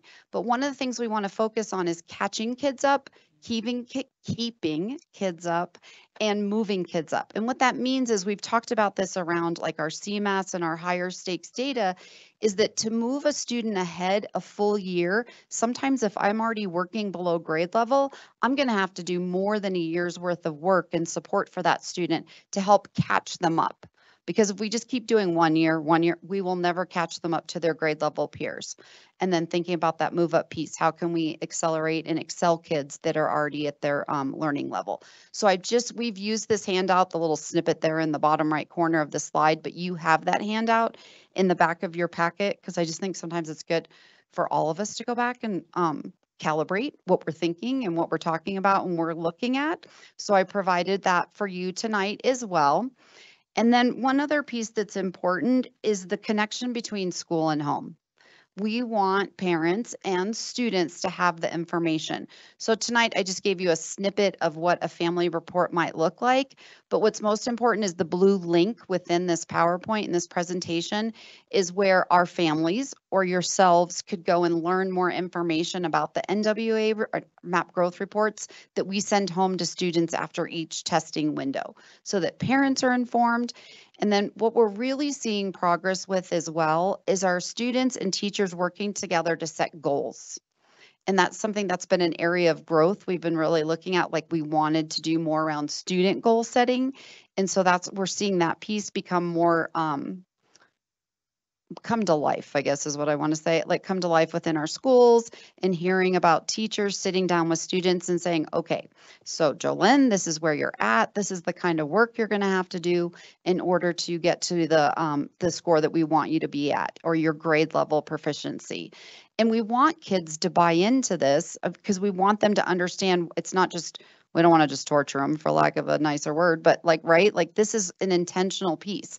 It helps us see where they're at and it helps them understand where that they're at as well in their learning progress. And of course, that conversation would look very different from a first grader to a 10th grader. Um, so I thought it was important tonight to share that family report piece with you as well. And then this slide just looks back at those um, pieces of, of taking action of how we're using this data and information. So I'm going to transition, unless we have questions that we want to do for me, we can always come back to me. No. Any questions, board? Ms. Yanez? Um, for the PLC work that's being done kind of across the district, so different schools getting together, which is so exciting. That is like just amazing. The is there some kind of repository on OneNote or something for those for resources, teaching strategies, things ju- like a collection place where we can say, I know someone mentioned something, but I want Yeah, so within our departments, we have a lot of information that's out there that our schools can access through the intranet.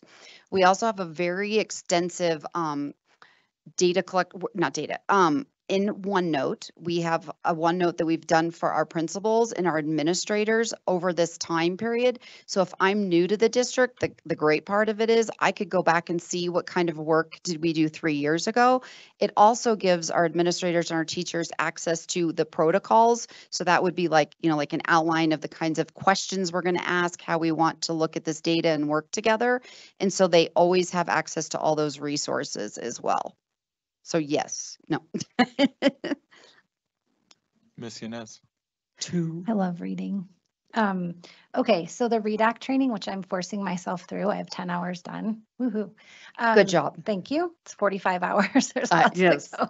um, what year was that actually a requirement? And then I think 2022-ish.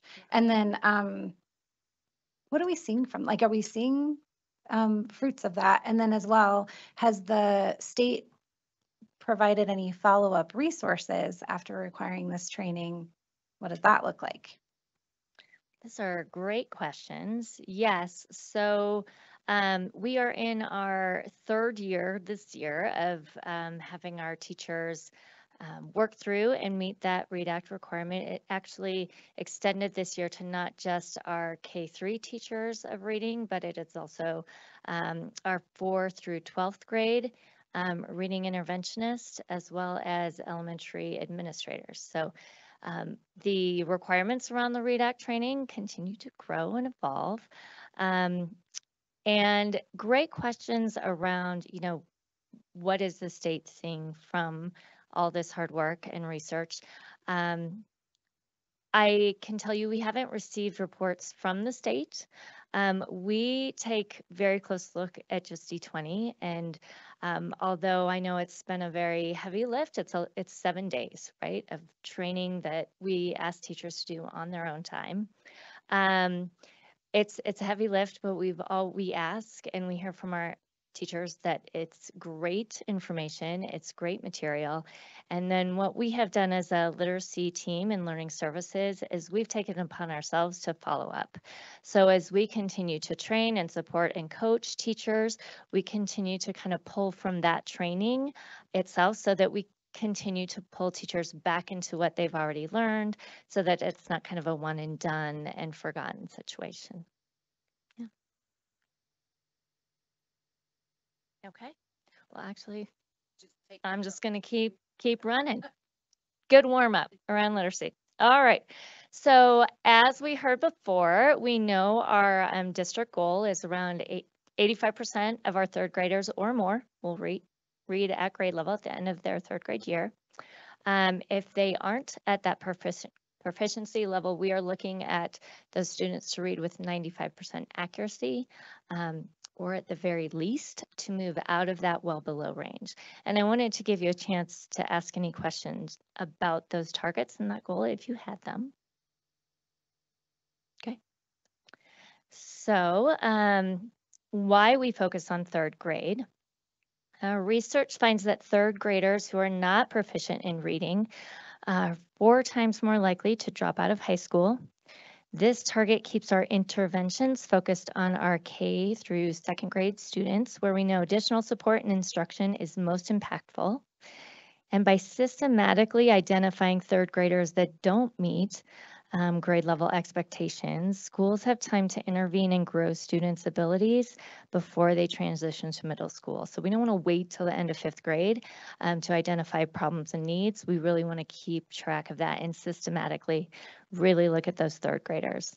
Um, additionally, at fourth grade, literacy standards shift the focus of instruction from learning how to read to reading to learn. So you kind of have more of an emphasis on that those comprehension skills rather than things like decoding and encoding.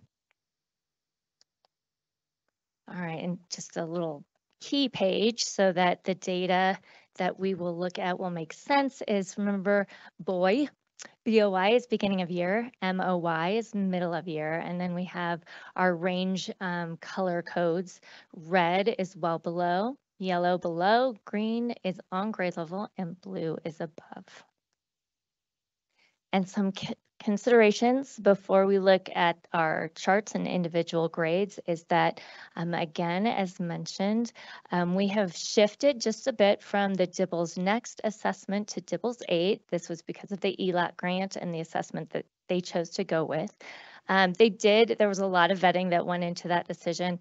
And what um, some of the shifts are that um, Previously with DIBELS Next, students would experience different subtests throughout the year. For example, first graders um, at mid-year would take an oral reading fluency test. Um, with DIBELS 8, all of our students take the same subtests throughout the year. So there's a little more consistency. And in my opinion, we can start learning more and doing more with more data faster. Um, another piece is there was a lot of research done around um, DIBELS Next offers students, they get kind of three reads. So you read a passage within one minute. DIBELS Next only uses one passage.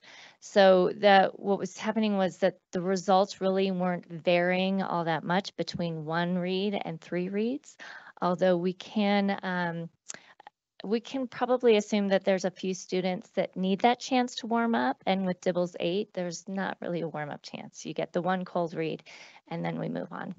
So those are some differences. We also tested this year before the winter break. Um, that's new for us. And um, really that was an ask from our principals because you know them and they love data and they love to hit the ground running and they wanted to know um, what kind of interventions and instruction would happen as soon as kids are back in January. So we made that shift. Um, and then in the charts that you'll see, TCA, one of our partnership charter schools, doesn't participate in the DIBELS 8 test. They actually use Acadience reading, which if you look at the test, they are almost identical, but it's just a different platform and they're able to give it on paper if they choose to, whereas ours is more um, online for teachers. So their data is not included in the graphs, but we did include it in the numbers.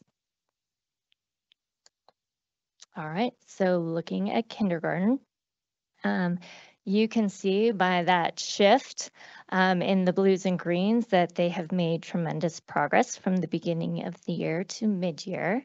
Um, we have 464 students that have moved from below level to on or above, um, which puts us at 75% on or above at mid-year.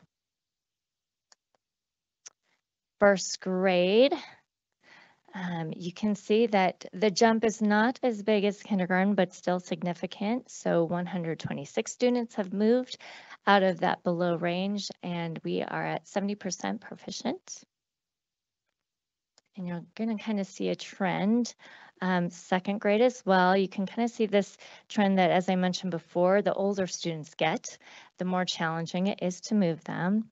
We are still making progress though. So 79 students have moved and we're at 72% on or above level at mid-year.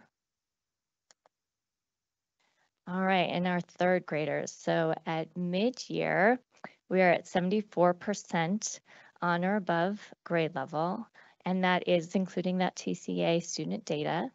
Um, we keep working on moving those students out of well below, but it's hard. You can see that not a lot of movement was made. Um, 63 students have moved um, from below to on grade level. And one of the things that I want to point out with this as well, um, the charts show um, all students that are testing and really for our um, target, we really focus on the students that are with us all year um, because we're trying to look at teacher impact.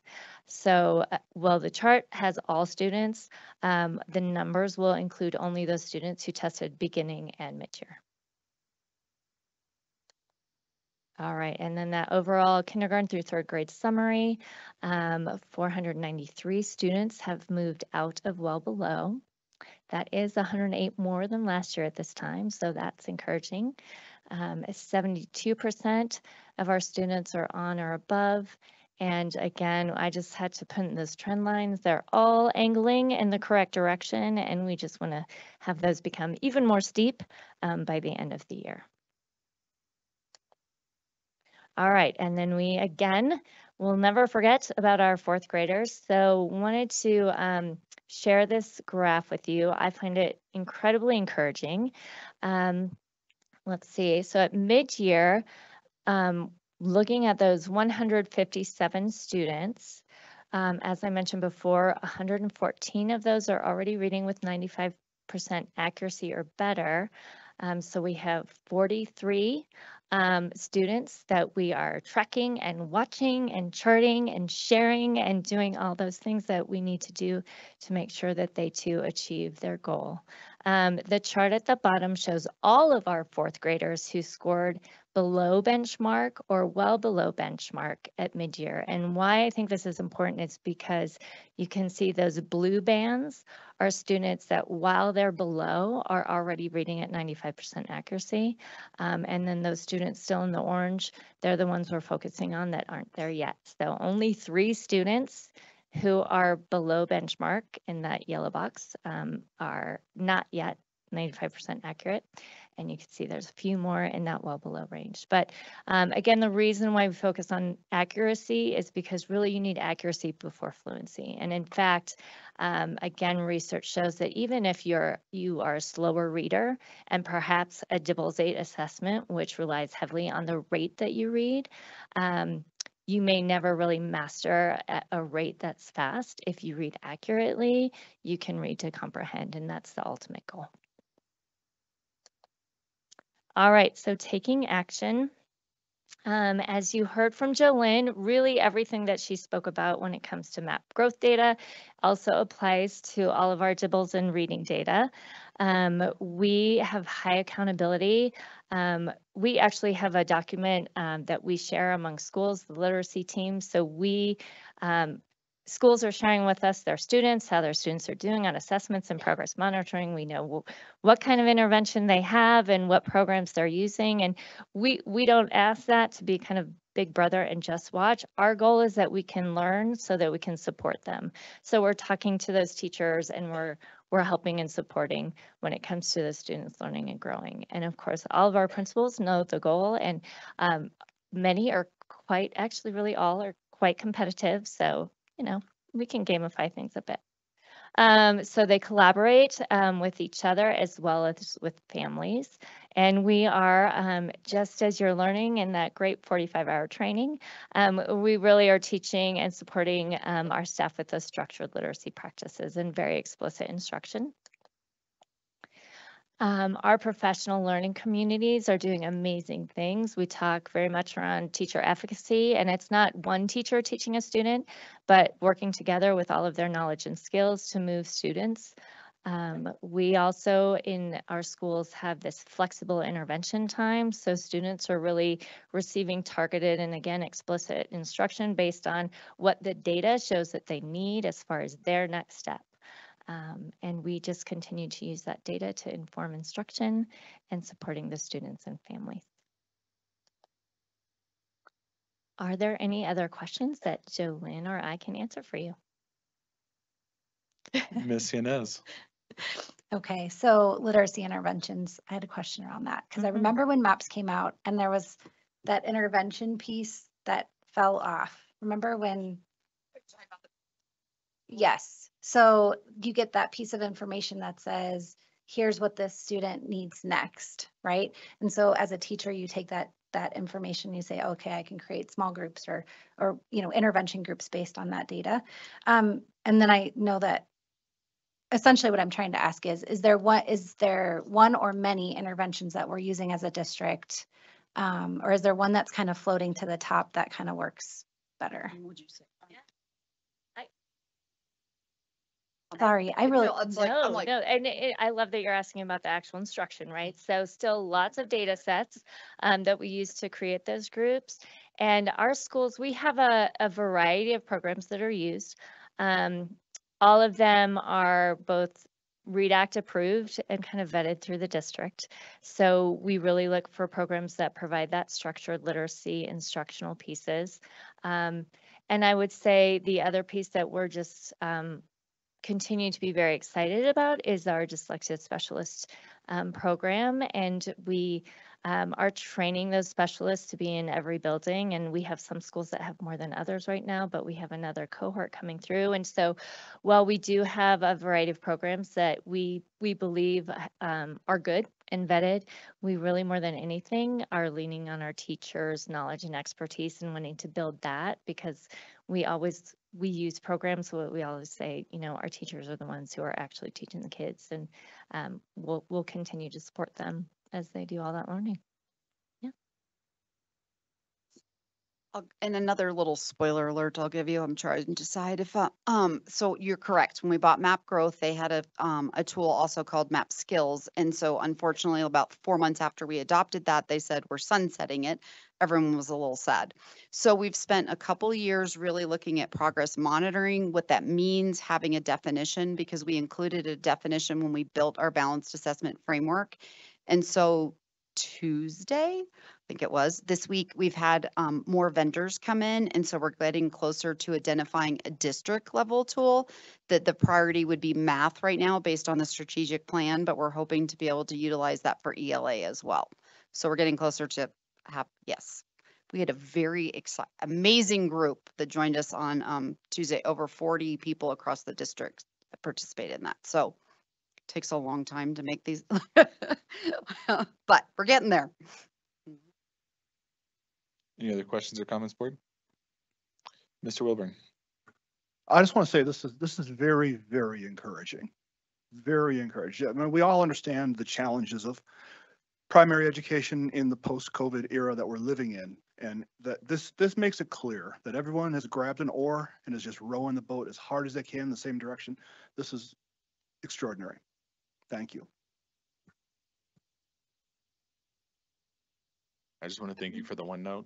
That has come in handy on so many occasions. I can't tell you how often I go and look at it. So We're passionate about our OneNotes. No. I, I feel that. So, all right. Uh, thank you. Absolutely, our pleasure.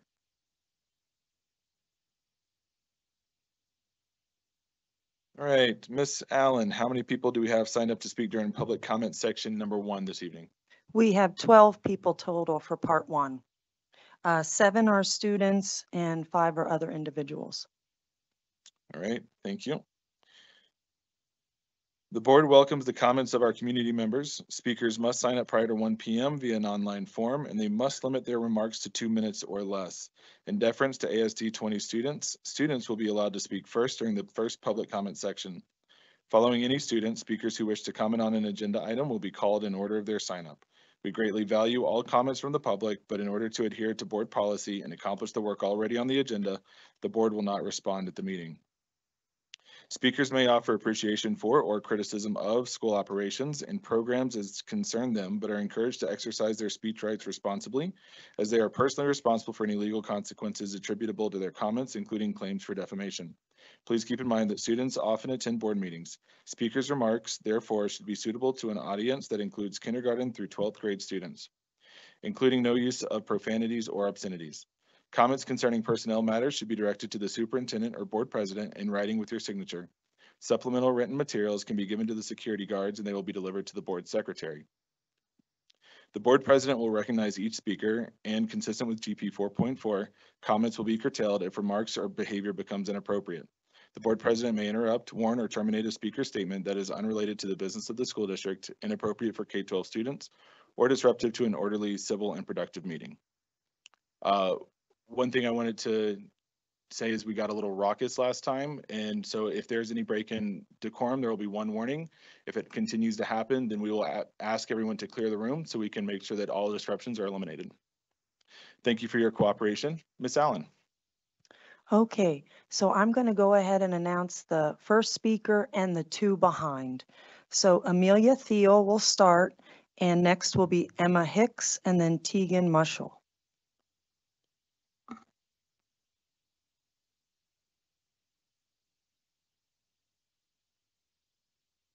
Hello, my name is Emily, and I'm a fifth grader, and I go to Legacy Peak Elementary School. Teachers shouldn't carry guns because arming teachers wouldn't decrease the risk to students. It would increase the risk to children getting hurt or shot. Becky Pringle, a middle school science teacher, states we need fewer guns in schools, not more. Teachers should be teaching, not acting as armed security guards.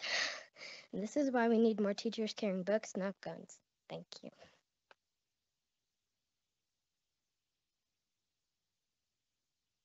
Our next one is Tegan Mushel, and we'll have Ashton Clark and Ryan Isham next. Uh, real quick, uh, this is going to be a warning. We're not going to be clapping and cheering uh, in between speakers. If that happens again, we'll ask you to clear the room. Thank you.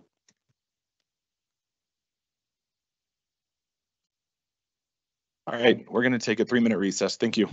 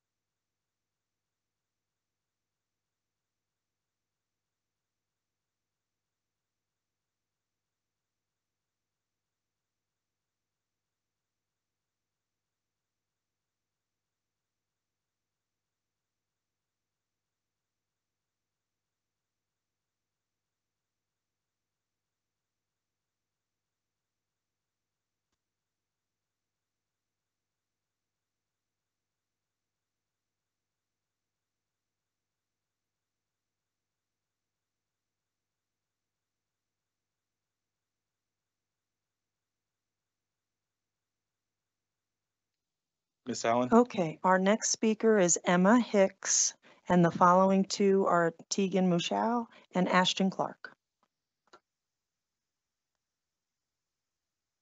My name is Emma Hicks, and I'm a junior at Pine Creek High School. I'm here tonight for you to see yet another example of how great Miss Cormany is and how much she cared and supported for each and every one of us and how hard it is since she was taken from us. The morale in the school has been off from the beginning. We knew something was up, but not what it was. As soon as anyone had said had some insight that there was trouble, we came together. Teachers are working hard to be positive and continue continue to do their job to the best of their ability, but they have lost their leader. Many of us students stop by her office religiously just to say hi, and since she has been gone, the door has been closed, and we don't have that, that time with her. If there was any way to show you the support she had from everyone, you can look at to the first moment we knew something wasn't right. 67 teachers called off one day, and two thirds of students were absent. We protested here at the admin building. Parents have written numerous emails, and still there are no answers. We just know that she is gone and not coming back. Admin, teachers, and coaches are leaving at an alarming rate. Students are talking about switching schools, and still nothing is being done except finding an interim principal for the rest of the year.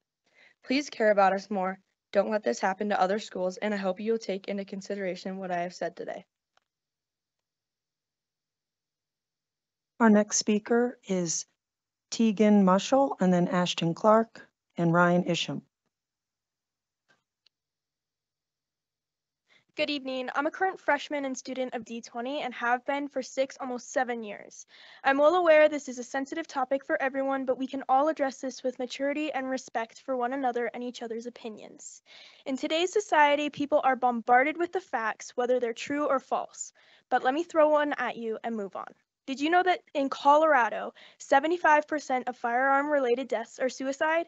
And that's only in Colorado. Now, there hasn't been a formal survey for anyone who should have a say in this, in this program, including staff, students, faculty, and parents who currently have students in the district. So I've taken it upon myself to take my own survey. Of the people I talked to, many people said they haven't even heard of FASTER, and those who did all said they are against it. Everyone also said they would feel more unsafe. They felt the community mental health would decline significantly, and have all talked to teachers who have felt unsafe with the responsibility. And some, if not most, have been said to remove from the district. Now, I understand this is a convenience survey with people I am in contact with, but it's a better one than I've seen my BOE do. Imagine what compelling data you could collect if you did one yourselves. Furthermore, this program costs $1,000 per participant. How many security guards could you hire with that money in all schooling levels? Where's that money coming from? What else could that money be going to in our schools that better education and conditions for people in the buildings? If this program is implemented, I guarantee you we'll be losing money instead of gaining it. So I urge you to do what's right and talk about your plans with everyone, students, staff included, and take surveys that gather useful information that is not selective but open to everyone. Thank you. Ashton Clark is next, and then we have Ryan Isham and Avery Hook. Good evening. My name is Ashton Clark. I'm currently a junior at Pine Creek High School. Thank you for taking the time to hear our hearts tonight. High school is challenging even at its best, but my high school experience has been made better with the relationship that Miss Tracy Cormany has made with me and my fellow classmates. Her presence is completely missed and the secrecy of the situation has affected a lot of good staff and students. We miss our good mornings every morning as we walk into the building. We miss our welcome backs from lunch and our good evenings at the end of the school day. Miss Tracy is a light in our school, and I justifiably can speak for all of us as students that we are beyond lucky to call her our principal. She strives to know every student at Pine Creek. We are we are all seen by her and supported by her. Our year has felt so disrupted by the firing of our beloved principal. We haven't just lost Miss Tracy, we've lost so many instrumental staff members. My class is so sad that, and it's not fair that we don't get her at the class of 2024's graduation. And as class of 2025, we started with Miss Tracy. We want to finish with her. She will not be at any of our sporting events, which she attended every sporting event and every school event. We miss our principal and need answers. We as students feel so valued by Miss Tracy and there will never there will never be another principal to fill the spot of Miss Tracy Cormany that Miss Tracy has had in Pine Creek. This is not business as usual. Our next speaker is Ryan Isham, then Avery Hook and Piper Bayhan. Hi, I'm Ryan Isham from Pine Creek High School, and I'm a junior this year.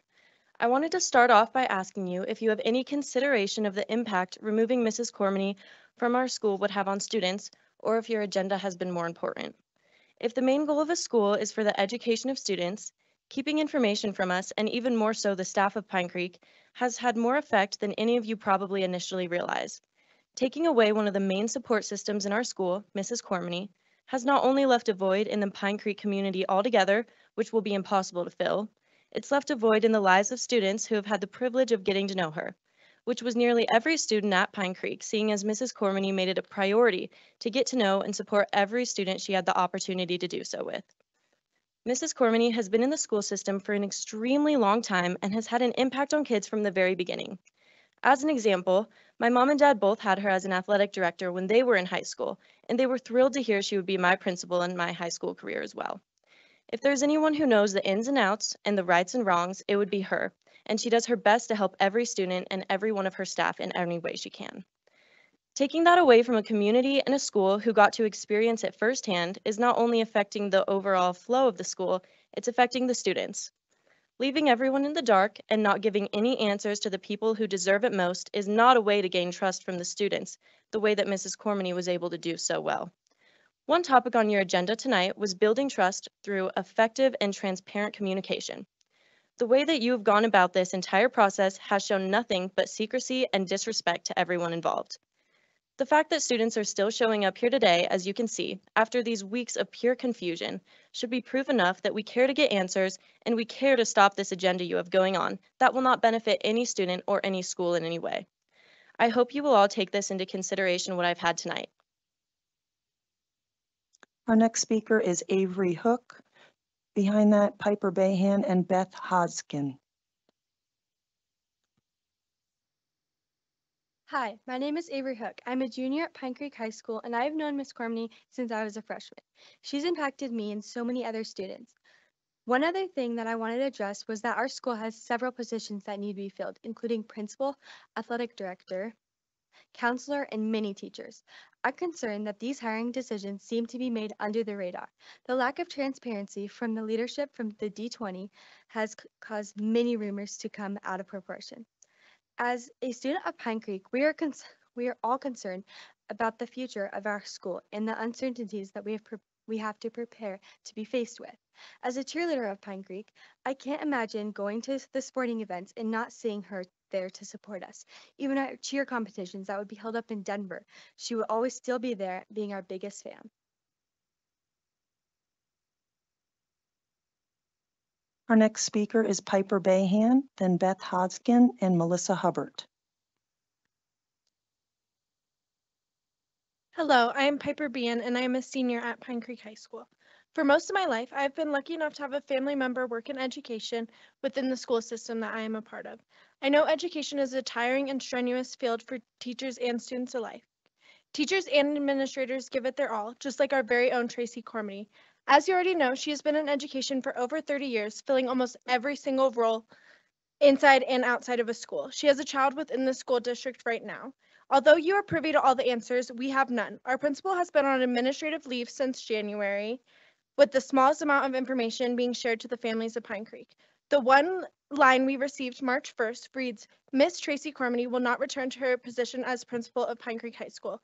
Because this is a personnel matter, we cannot share any more information. We now have an interim principal, but no answers. With Ms. Cormany's absence, the morale has been lower, students and teachers alike are thoroughly confused, and chaos has risen. We don't need a principal. We don't need scattered emails. We need our principal, and we need answers and transparency. Tracy Cormany deserves better.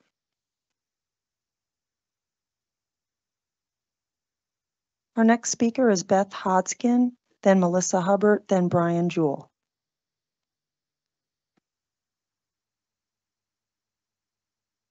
Hi, my name is Beth Hodgson. I'm a parent of a D20 student at Encompass Heights who will be representing Encompass Heights at the uh, Regional Science Fair, uh, STEM Fair in April 20th. Um, there's no logic or reason in supporting book bans. The quest to censor stems from the fear of losing control over one's children. Being unable to dictate children's reading habits translate to, translates to the realization that children may read something the parent never wants their child exposed to. The fear and anxiety of some people is clear. They never want their child to adopt any alternative lifestyle or stray from their Christian nationalist ideals of societal norms. Simply banning books some don't agree with can cause greater harm to the mental health of our youth. Mental health experts say that because many of the books are focused on marginalized groups, women, ethnic, racial, and gender identity issues, eliminating the books further marginalizes those groups. When the reality is these books have the potential to help our marginalized youth thrive, these topics are all ones we should be discussing around our dinner tables. For anyone who respects the First Amendment and the free exchange of ideas, book banning is an exercise in repression and ignorance. Why is this even a point of contention in D20? We already have an opt-out program in place that allows parents to prohibit their children from checking out materials they find objectionable. Why does the ignorance and narrow-mindedness of some come at the expense of my child's freedoms? I cannot think of one instance where those who have banned, burned, or burned books have been viewed as the good guys in history. Who do you wish to emulate? When you shuffle off this mortal coil, how do you wish to be remembered? Would you want your legacy to be compared to that of the Nazi regime, Soviet communism, or perhaps you would prefer to be in better company? It's not too late. You have the opportunity to lead us into the future, a world where our individualism isn't shunned, but celebrated, where our chil children will be better off upon their exit from our district than when they started. It starts here, it starts now. It starts with this board and stakeholders together blazing a path forward of which we can all be proud. Our next speaker is Melissa Hubbard, then it will be Brian Jewell and Catherine Chukas. If this nation is to be wise as well as strong, if we are to achieve our destiny, then we need more new ideas for more wise men reading more good books in more public libraries. These libraries should be open to all except the censor. We must know all the facts and hear all the alternatives and all of the criticisms. Let us welcome controversial books and controversial author authors. For the Bill of Rights is the guardian of our security as well as our liberty. John F. Kennedy. Decisions that are motivated by hostility to controversial ideas or by the desire to conform to a particular ideological, political, or religious uh, viewpoint violate the First Amendment. In less than two years, BookLooks has become the go-to resource for anyone seeking to ban books, especially books about gay people or sexuality from school and public libraries. It is a tool developed by the extremist group Moms for Liberty being used to push their agendas even further under the guise of protecting children. And it's not just individual book challenges citing BookLooks in Virginia. One school district has adopted the site as an official reference tool for vetting its library books, something that is being proposed in D20. In Texas, a legislator pushed to pass a new law requiring book dealers to rate and recall books by referencing an unsuitable book list sourced mostly from BookLooks. If the board professes to follow the strategic objective of belonging, the district should not be using a biased site on which to base any decisions about books in school libraries. It hurts the kids on my caseload who are LGBTQ and minority kids and uh, and denies them access to books that can reflect their own lives and Thank you. Your time is up. Our next speaker is Brian Jewell, then we have Catherine Chukas and Emily V. Have a quick second before my time starts. I have a little bit of a disclaimer because it's sort of a sensitive topic. Um, it's nothing graphic, I promise.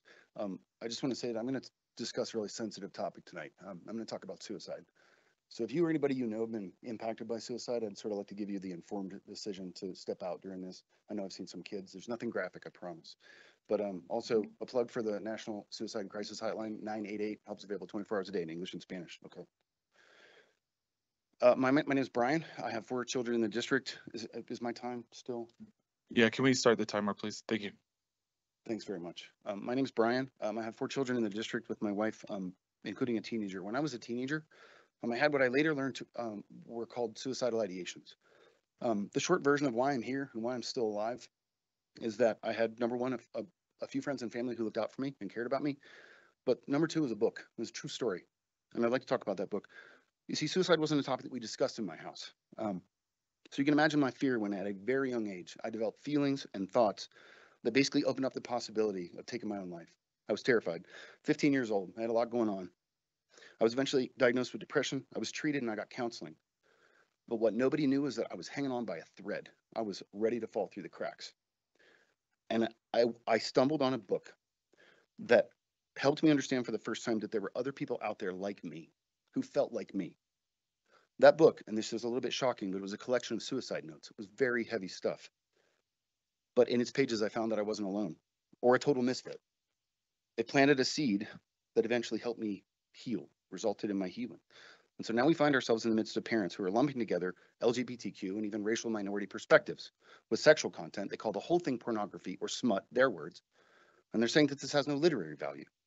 But this isn't about sex, my friends. It's not about purient sexual interests or anything like that. This is about people finding themselves in stories that give their experience a voice. Today's board quote is about turning over rocks, even if what you see can scare the hell out of you. Your quote, not mine. So if one child finds comfort or their identity in a character in a book, I hope we'd all agree that's a win. I often wonder what the outcome would have been if I hadn't found that book. So I just offer that let's trust parents to make their own decisions for their children. Parents, as we've heard tonight, can already opt out of allowing their children to read books in our libraries. Even supporters of removing books, some of whom have been in attendance in these meetings, have admitted this in private. I just ask that we, we get back to what matters in this district, which is our students and our staff and our teachers. Thanks. Catherine Chukas is our next speaker, and then Emily V.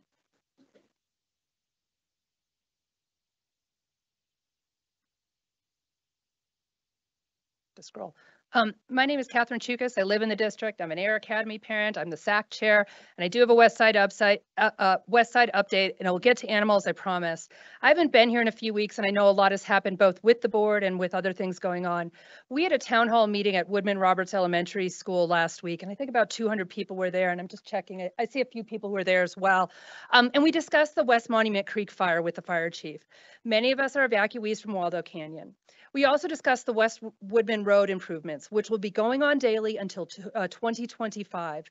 So it would be gr uh, great if there's more grace given by the transportation team and the attendance teams for Air Academy and for Woodmen Roberts, because our families are going to be dealing with this for another 12 months. And if you attend Woodmen Valley Chapel, I know some of you might, um, you have the benefit of police cars directing traffic on weekends when you're there, but those of us commuting daily on Woodmen and Rockrimmon do not. And so we need that grace. The third big thing that we discussed was the indigenous bighorn sheep. In fact, they are called the Rampart Range Bighorns. So if the K-Ram team wants to do a news story on Rampart Rams, I got a lot of people that they could interview. It's great to see the K-Ram interviews, especially those on today's episode. It had a great recap of the last board meeting. And speaking of interviews and TV reporters, there was a great interview on 60 Minutes last Sunday. If you don't have TV or, uh, or that, that station, you can listen to it on a podcast. The title of it's something like 97 books, and it relates to item 10A on your agenda.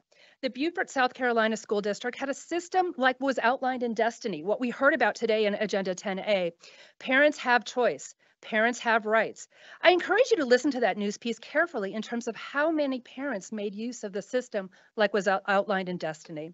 It was clear to me that the people raising an issue didn't have kids in public schools and didn't have kids who use libraries. Anyway, that's the information I want to give you. I got it done in less than two minutes. Thank you. Our next speaker is Emily V. As a longtime observer, I have a no vote of confidence that all board members will read the book being challenged in its entirety. At a student-led forum in October, Derek Wilburn quoted excerpts, excerpts from three books, yet when confronted at the Charis Christian Center forum, he admitted to, he admitted to reading none of the books he questioned. So approving this appeal would also violate GP 4.1 Code of Conduct, which prohibits a board from showing loyalty to an advocacy group, which in this case would be Advocates for D20 Kids. The person challenging the book is a known member and has a documented history of taking photos of D20 staff high school rooms, which di displayed inclusive materials. We also know that since January, Mr. Salt, Mr. Wilburn, and Ms. Shandy have attended meetings at this group, not to mention the leaked Discord chats where where three current sitting board members and the wife of the president were members. So approving this appeal would demonstrate ongoing favoritism to members of this group.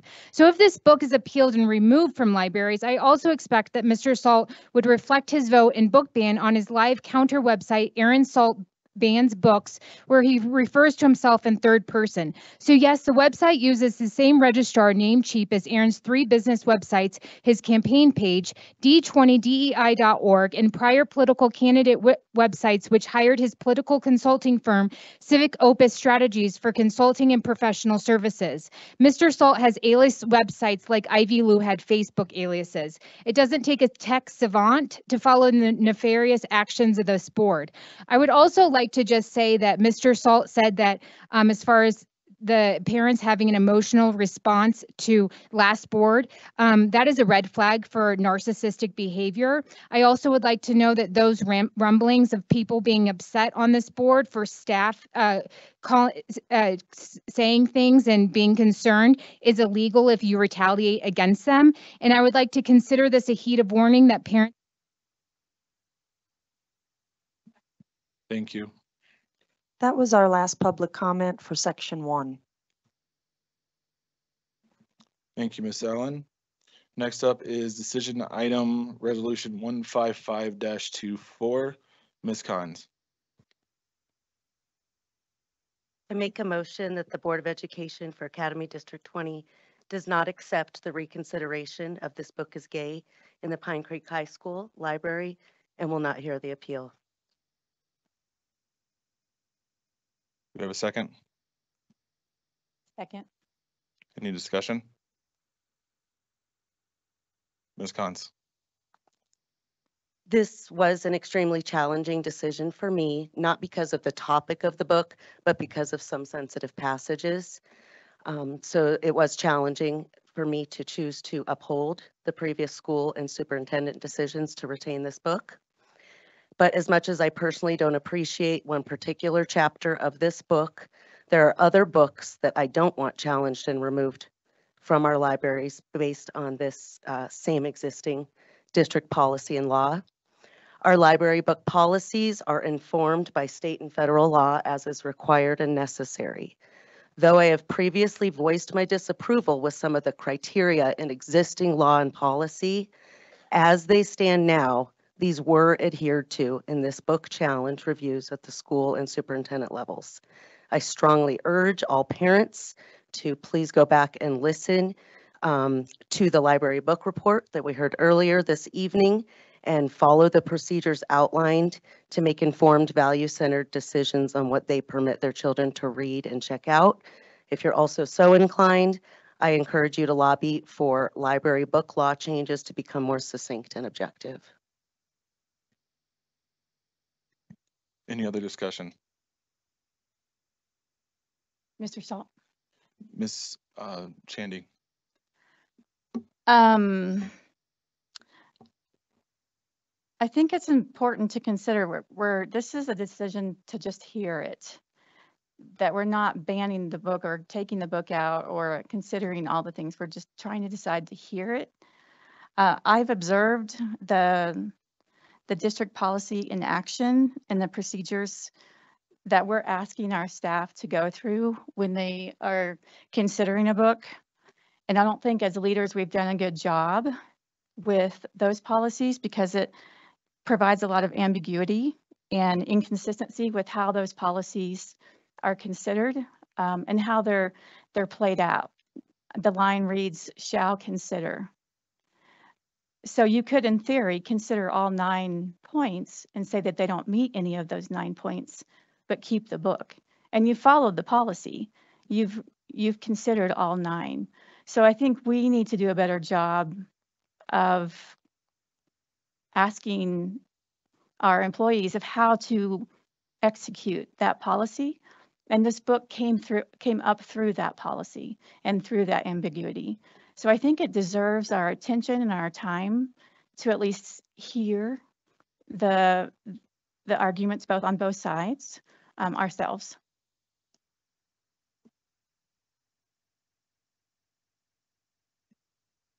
Is there any other discussion? Ms. Yanez. Um, so since receiving this book challenge, um, I've spent a lot of time, have read the entire book. Um, my husband can vouch for me because I actually wear like a headlamp in our bedroom so I don't wake him up when he, as I was reading. That's great visual for you all. But um, December 19th, I took an oath to the United States and state constitution. And in doing so, um, uh, and also had to get really familiar with um, board policy. Um, I've read um, book reviews. Um, I've learned a little bit more about the ratings for movies and video games. Um, how there's there's one organization that rates movies and there's one organization that rates video games, and then there's lots of other people that do their own ratings. But like when you, you know, would go to a movie and you see rated R or PG-13, that comes from one organization. We don't have that for books, and so we're really dependent on um, age recommendations generally laid out by the publisher, right? Um, I've learned a lot. I've looked at um, how this got punted to school boards.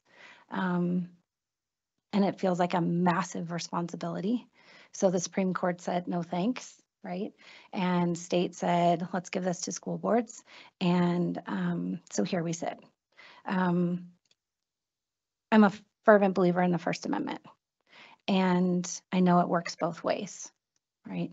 Um, I'm also a big believer in parents' rights, and I'm I'm thrilled to see that there's um, information being shared um, by the district with parents to say, hey, if this doesn't fit for you guys, then here's something you can do and curate a collection with your kids.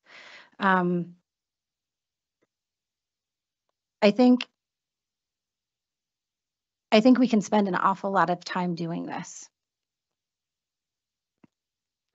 And my concern is that we get away from the, the work um, of student outcomes. And um, full stop. Mr. Wilburn. Uh, I think Mrs. Shandy makes a good point that at, at this point, the decision is to whether or not to hear the appeal. Um, Under the last board, under, under Director LaValle's presidency, I think the vote, the board voted to hear five out of five appeals or six out of six. I mean, you, you heard them all. And that's the right thing to do for a constituent. If a constituent comes with a concern to this board, I think we owe it to that constituent to hear their concern. And then a decision gets made after the decision is made whether or not to honor the constituent's appeal. So uh, I think Amy, Mrs. Shandy makes a very good point. And that's the stage we are at. I think we owe it to our constituents to honor their requests for us, to- whether it's a book that you personally like or want or personally don't, or that should be off the table. It should be about a constituent bringing a concern to their elected representatives.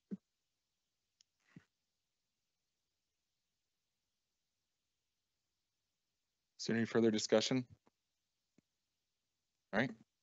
Uh, so the resolution on the table is to not hear the appeal. A yes vote means we uphold the previous decision. A no vote means we will uh, turn this down and want to move forward in hearing the appeal. I can repeat that. A yes vote on this resolution means that we uphold the decision made by the committee and the superintendent's designee. A no vote means we would turn this resolution down and move forward towards hearing the appeal at a future date. Any other questions? Roll call, please. Mrs. Cons? Yes. Mrs. Shandy? No. Mr. Wilburn? No. Mrs. Yanez? Yes. Mr. Salt? Yes.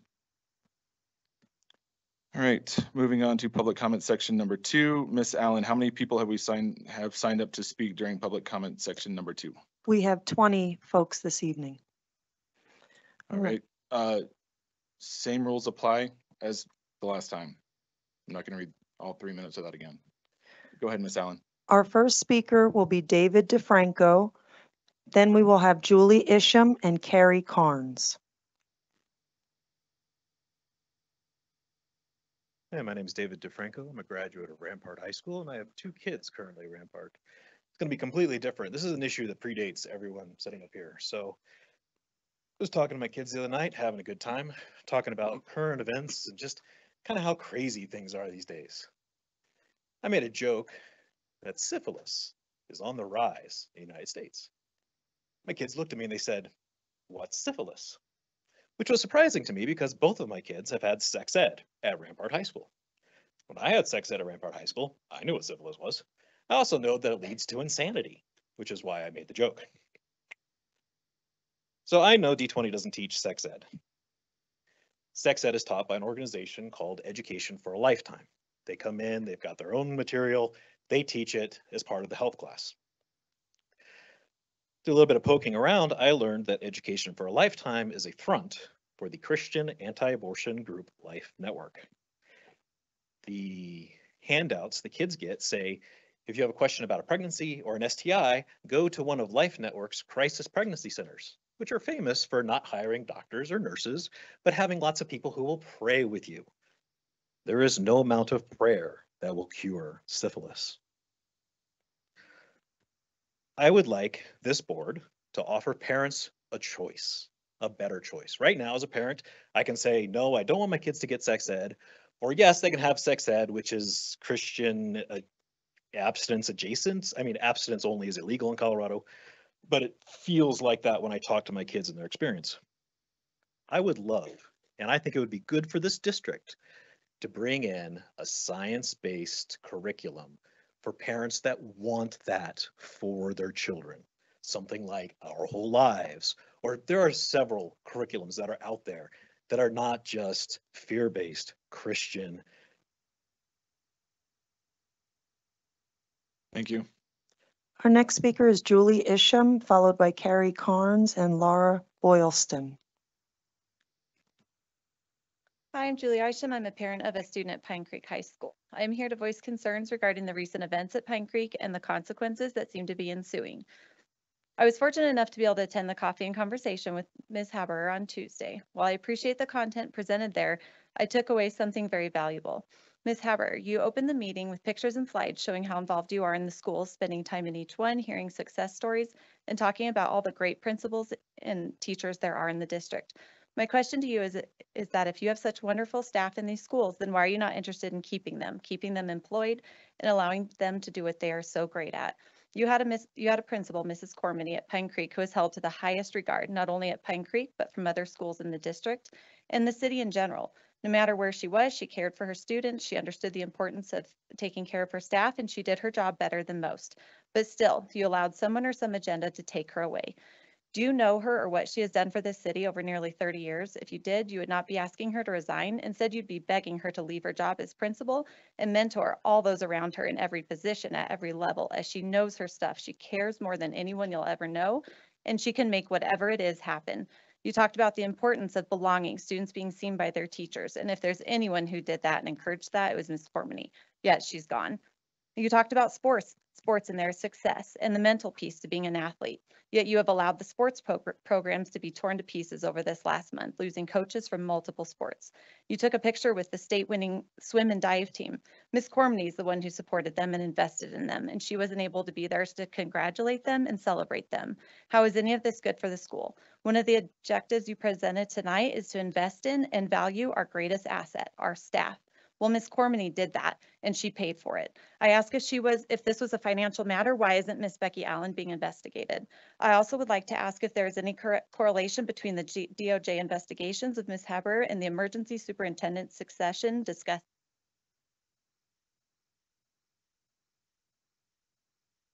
Our next speaker is Carrie Carnes, followed by Laura, Laura Boylston and Suzanne Thiel. Hello, my name is Carrie Carnes, and I'm a D20 property owner, registered voter, and a parent with two children currently in D20 schools. So I want to start from a place of gratitude.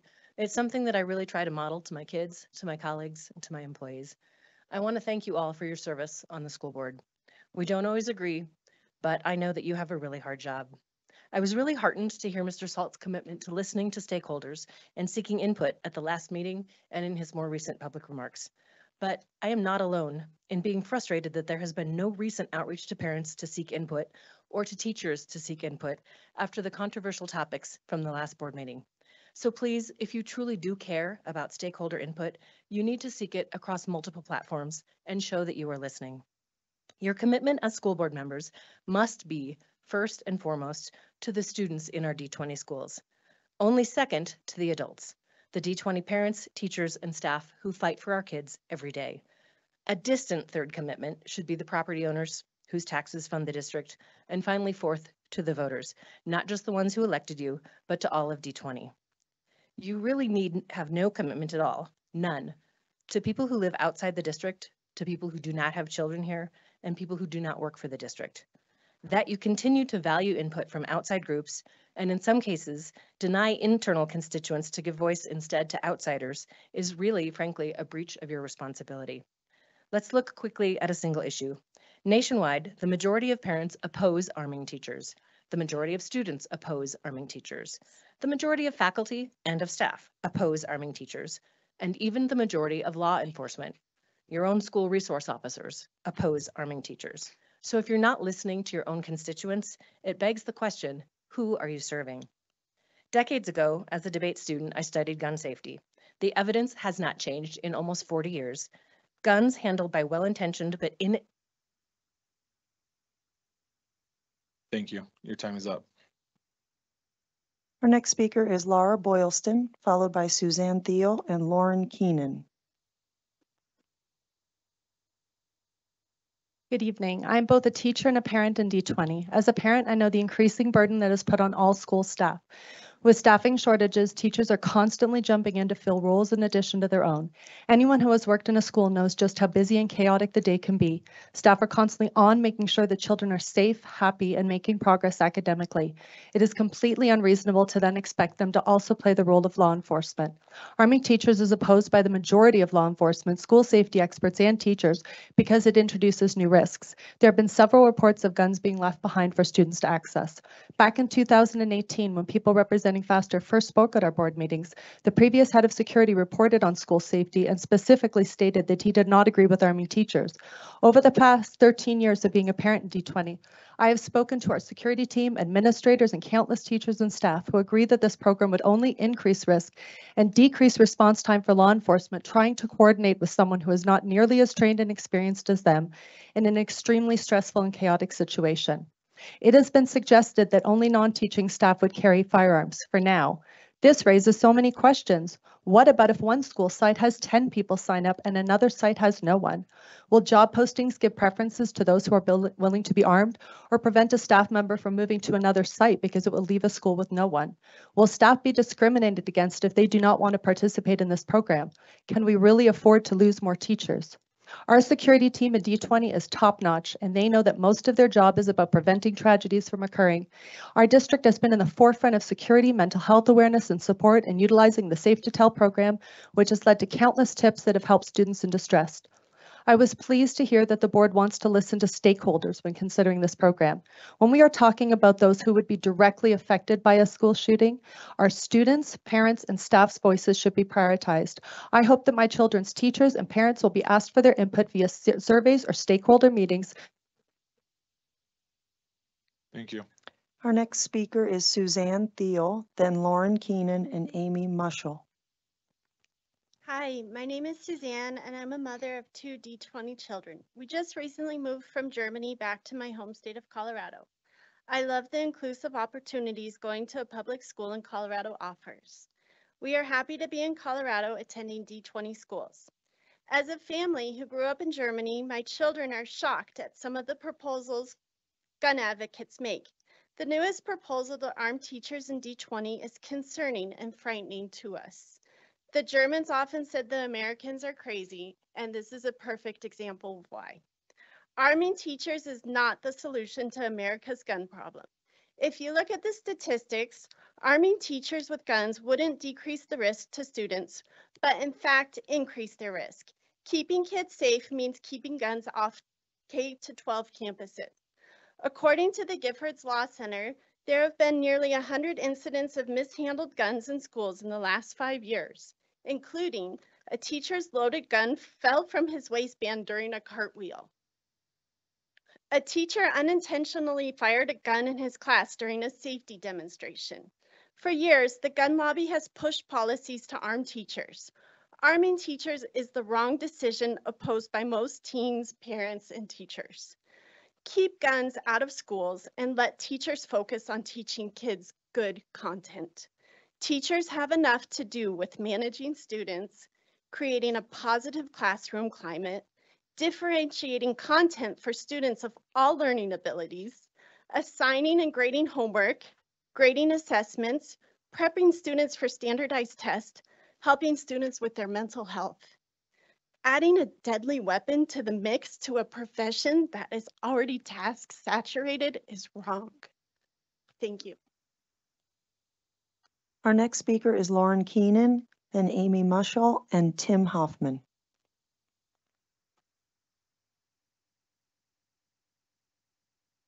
Lauren Keenan. Okay, then our next speaker is Amy Mushall, Tim Hoffman, and then Liz Wilcox. Good evening. I'm a parent of two children in District 20. We moved into this district six years ago because I heard it was so great. I want to say very clearly that I am against having more guns in the schools by arming staff and teachers. I also want to share with you that my 10 year old has expressed his concern with me about this program. He said, I would not feel comfortable having guns in my school. What if the teacher was tired from grading papers late at night and they made a bad decision and someone got hurt? I would be scared to go to school. Please don't make my 10 year old child scared to go to school. Mr. Salt, you stated in the recent KRAM piece that you're currently having philosophical conversations about this to see what the right choice is in our district. As a parent, I do not want this to be that choice. I would share more details about that, but two minutes isn't enough time.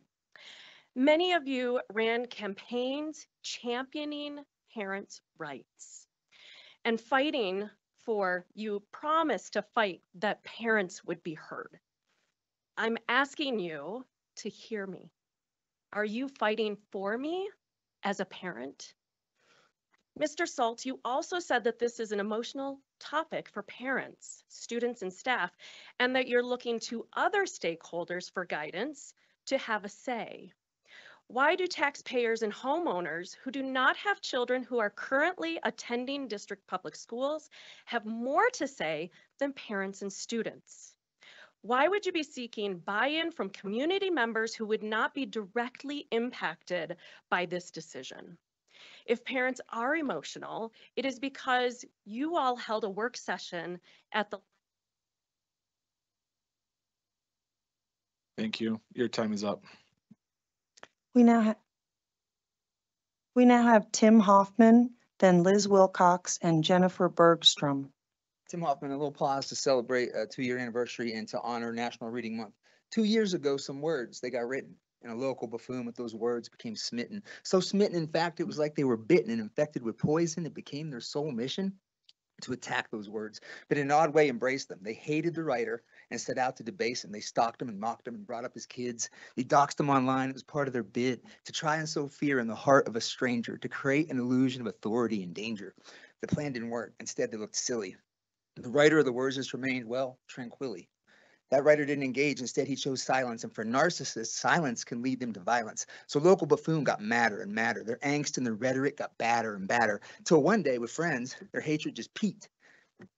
Buffoon's threats of violence online became leaked. Then to make matters worse, look at what Buffoon did. Recited obscenity to a room full of kids and defended it, but add to the things we despise next to bully and doxer, and they plagiarized. And the kicker, this person, they just don't care because their hatred has moved them from here up to there. And now there they are on the EDU board with collective jaws dropped. Me and you are just floored. And not just at them, but we're floored that they made it. Floored that our neighbors would vote in this hatred eagles so fragile, mouth so gigantic, it's disastrous, like a sinking Titanic. They can't hold decorum, they can't shut their mouth. They're flagrant, disgruntled, they sit there and pout. They're a menace to students, a board liability. Their presence is useless. There's no viability, but yet There they are, the smug little smile, with petulant posture and thoughts that are vile, pretentious, self-righteous, and arrogant too. When you voted for this, did you know what they do? Or are you now like us, full of sadness and fears at the thought of this person here for many more years? Also, yo, different topic. Child advocacy does not look like visiting elementary schools and engaging in inappropriate physical contact with kids. Never, ever does that look like child advocacy. Please, again, encourage voluntary resignation for those unfit for the board. Thank you. Our next speaker is Liz Wilcox, then Jennifer Bergstrom, and then Laura Furia.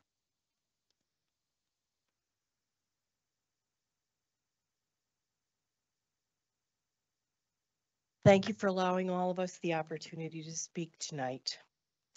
The uh, text I've prepared is actually something that I sent to every one of you and got the standard response. And the purpose of that was to express my very deep concern over considering the FASTER program in ASD 20. Teachers, staff, students, and parents deserve far better than this that you would even think a wide-ranging program to bring guns into our schools was a good thing is abhorrent to me. Faster admits they know of no situation where their program has stopped any school shootings, yet you would consider having poorly trained personnel ready to shoot, to kill. A three-day training provides little, if any, readiness to handle a murderer in possession of an assault-style rifle, particularly when you consider that our teachers or other staff members would be doing concealed carry. You're setting public education up to fail. Why not simply admit this is the first step in doing so? It's an easy way to weed out our teachers, staff, and students so you can bring in your so-called religious schools. We're on to your agenda. You are fooling only yourselves. You're begging for another murderous slaughter of children to happen. You claim to not have enough money to hire and pay teachers a living wage, yet you're willing to spend thousands on guns, insurance, and training to arm staff, students, well, not students, teachers, and other service workers. I request you throw out any thoughts of bringing this pro-murder program into D20. If you're incapable of doing so, you are incapable of leading our district back to the greatness it was once known for prior to you being elected. Thank you. Your time is up. We now have Jennifer Bergstrom, followed by Laura Furia and Charlotte Johnson.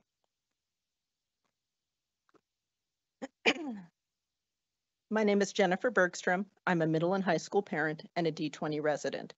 I'm here tonight to voice my concerns surrounding the current D20 Board of Education and their ever increasing lack of transparency. I understand the board does not respond to public comment. However, my emails are also going unanswered, so here I am. I have specific board concerns that I would like addressed. Firstly, since the January 4th board meeting, there has been an executive session for legal counsel at the end of every board meeting. This is highly unusual because the need for legal counsel should be an infrequent occurrence. Additionally, last week there was a need to call a special ses session for the purpose of receiving legal counsel on multiple issues. As a parent and taxpayer, I'm concerned about wasteful spending. If we don't have the funds to adequately pay our teachers or to maintain our buildings, please stop getting us involved in costly litigation. Next, from my perspective, it appears that the board is intentionally limiting stakeholder access. I would like to know why the video feed was purposely turned off during public comment section of the previous board meeting. I do not understand why work sessions cannot be recorded and live streamed like they are in neighboring districts. Limiting access and refusing to utilize existing technology understandably leads the public to believing you're up to something. Finally, regarding the discussion of utilizing non-uniform staff to conceal carry firearms in D20 schools, I would implore the board to not brush off staff, students, and parents when there's absolutely no evidence-based proof to support the claim that staff conceal carrying will make our schools safer. This is a decision that'll have a huge impact on the district. Any decision made without extensive stakeholder input and complete transparency would be incredibly negligent. In closing, I'm well aware of the national politically motivated movement that seeks seeks to dismantle public education, leaving behind only charter schools and vouchers. Over 26,000 kids rely on you for their educations. Think Thank you. Your time is up. We now have Laura Furia, followed by Charlotte Johnson and Tim Falk. Good evening. For the last two and a half years, I've been mostly coming to board meetings to talk about parking lot safety at Rampart. And so for those of you who are near here, new here, I'll give you a recap of why. So November of 2018, uh, in order to avoid traffic and the chaos that was always happening at Rampart, I dropped my daughter off a block from school. And when she was walking through the gravel overflow lot, another student driver in a giant pickup truck hit her, dragged her, ran her over, and ran her over again. And so, uh, over the last several years, um, I've been working with the district a lot. And Alyssa lived, her world was turned upside down. Five plus years later, um, she still suffers chronic aches and pains, PTSD, um, can't do all the things that she used to do. So the traffic study that was done and the physical changes that followed have made a difference, but Rampart still needs a lot of work, as do other schools' parking lots. I was at DCC recently at drop off in the morning and I could not even figure out what in the world was going on over there. Um, all three schools being dropped off, blocked off from each other. I went around in circles. Um, since the MLO didn't pass, I feel like it will be a lifetime before the substantial phase two changes that the um, engineer suggested could happen. Money aside, there are strategic changes that could be made. If we could give control of the parking lots over to facilities and security, moving away from the site-based model, a more robust, unified, and meaningful arrangement and enforcement of our parking lots could be achieved just maybe some semblance of sanity could be made for everyone during the start and end of the school days. Um, let those with the most relevant knowledge be in charge. In the same vein, I approve of more SROs and security officers at our schools because not only can they keep away perpetrators who want to harm people, they could also control our parking lots a lot better. So thank you. Next up is Charlotte Johnson, followed by Tim Falk and Jennifer Diedrich.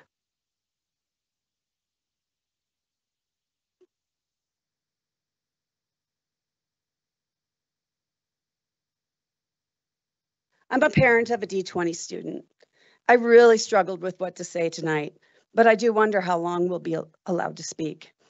I do want to talk about FASTER and how many parents and teachers were turned away last meeting from speaking about it, even though the board said they wanted to hear from any everybody.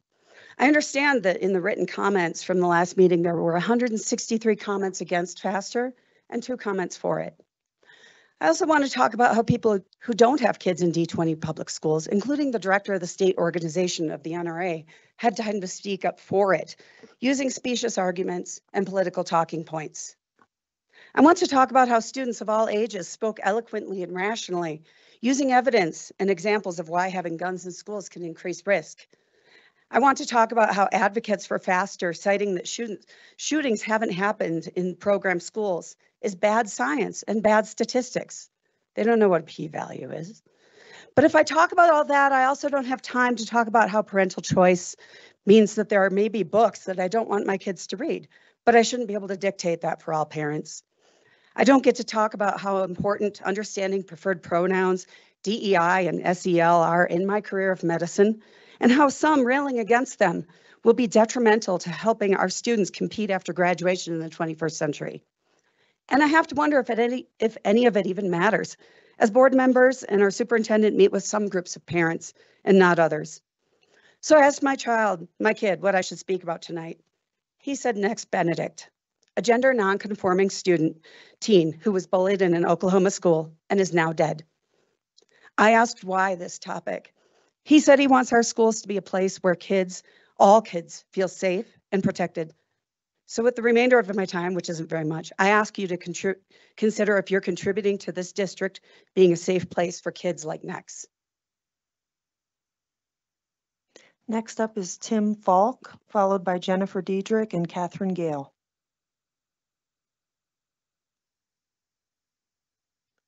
My name is Tim Falk, a father of five daughters in D20. And um, I fear we are being becoming so polarized that we can no longer respect and carefully listen to anyone who disagrees with our positions. Case in point, last meeting when I started my public remarks, I was interrupted while sharing my Christian values before hearing that I was speaking to protect the rights of those who hold values different from me. So I'm asking you to consider what can be done to lower the temperature in our district. Sitting through heated vented sessions and board meetings and then pushing forward might look like success, but this is likely to stir up more heat in the long term and may ultimately backfire regardless of any short-term changes. And then silencing the opposition will induce even more disastrous fallout. So I suggest a more challenging, but perhaps more rewarding approach, providing a venue for people with opposing values to sit down together in a controlled environment and really listen to each other and to work for ways to understand and respect one another once again for the sake of moving forward together despite our differences. I don't think this is overly idealistic or simplistic. Rather, I feel it's necessary if we are going to continue to have a successful school district. I have some ideas how this could work, and I am convinced that District 20 can show other polarized districts a healthy way to work through our differences and emerge stronger. So I'm asking the board to consider putting something like this together. I would be I would be willing to help out in any way to get it started or just to be a participant. And I do believe there are others from both sides of the aisle who are also willing to work together in good faith. So thank you for considering this proposal. Next, we have Jennifer Diedrich, then Catherine Gale and Megan Gatke.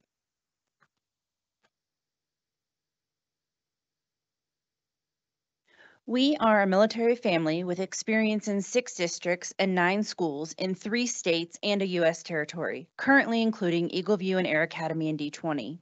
Our current teachers and admin teams are exceptional. These educators exhibit unparalleled care, kindness, and engagement with their students. The administrative staff goes above and beyond, fostering personal connections with their students.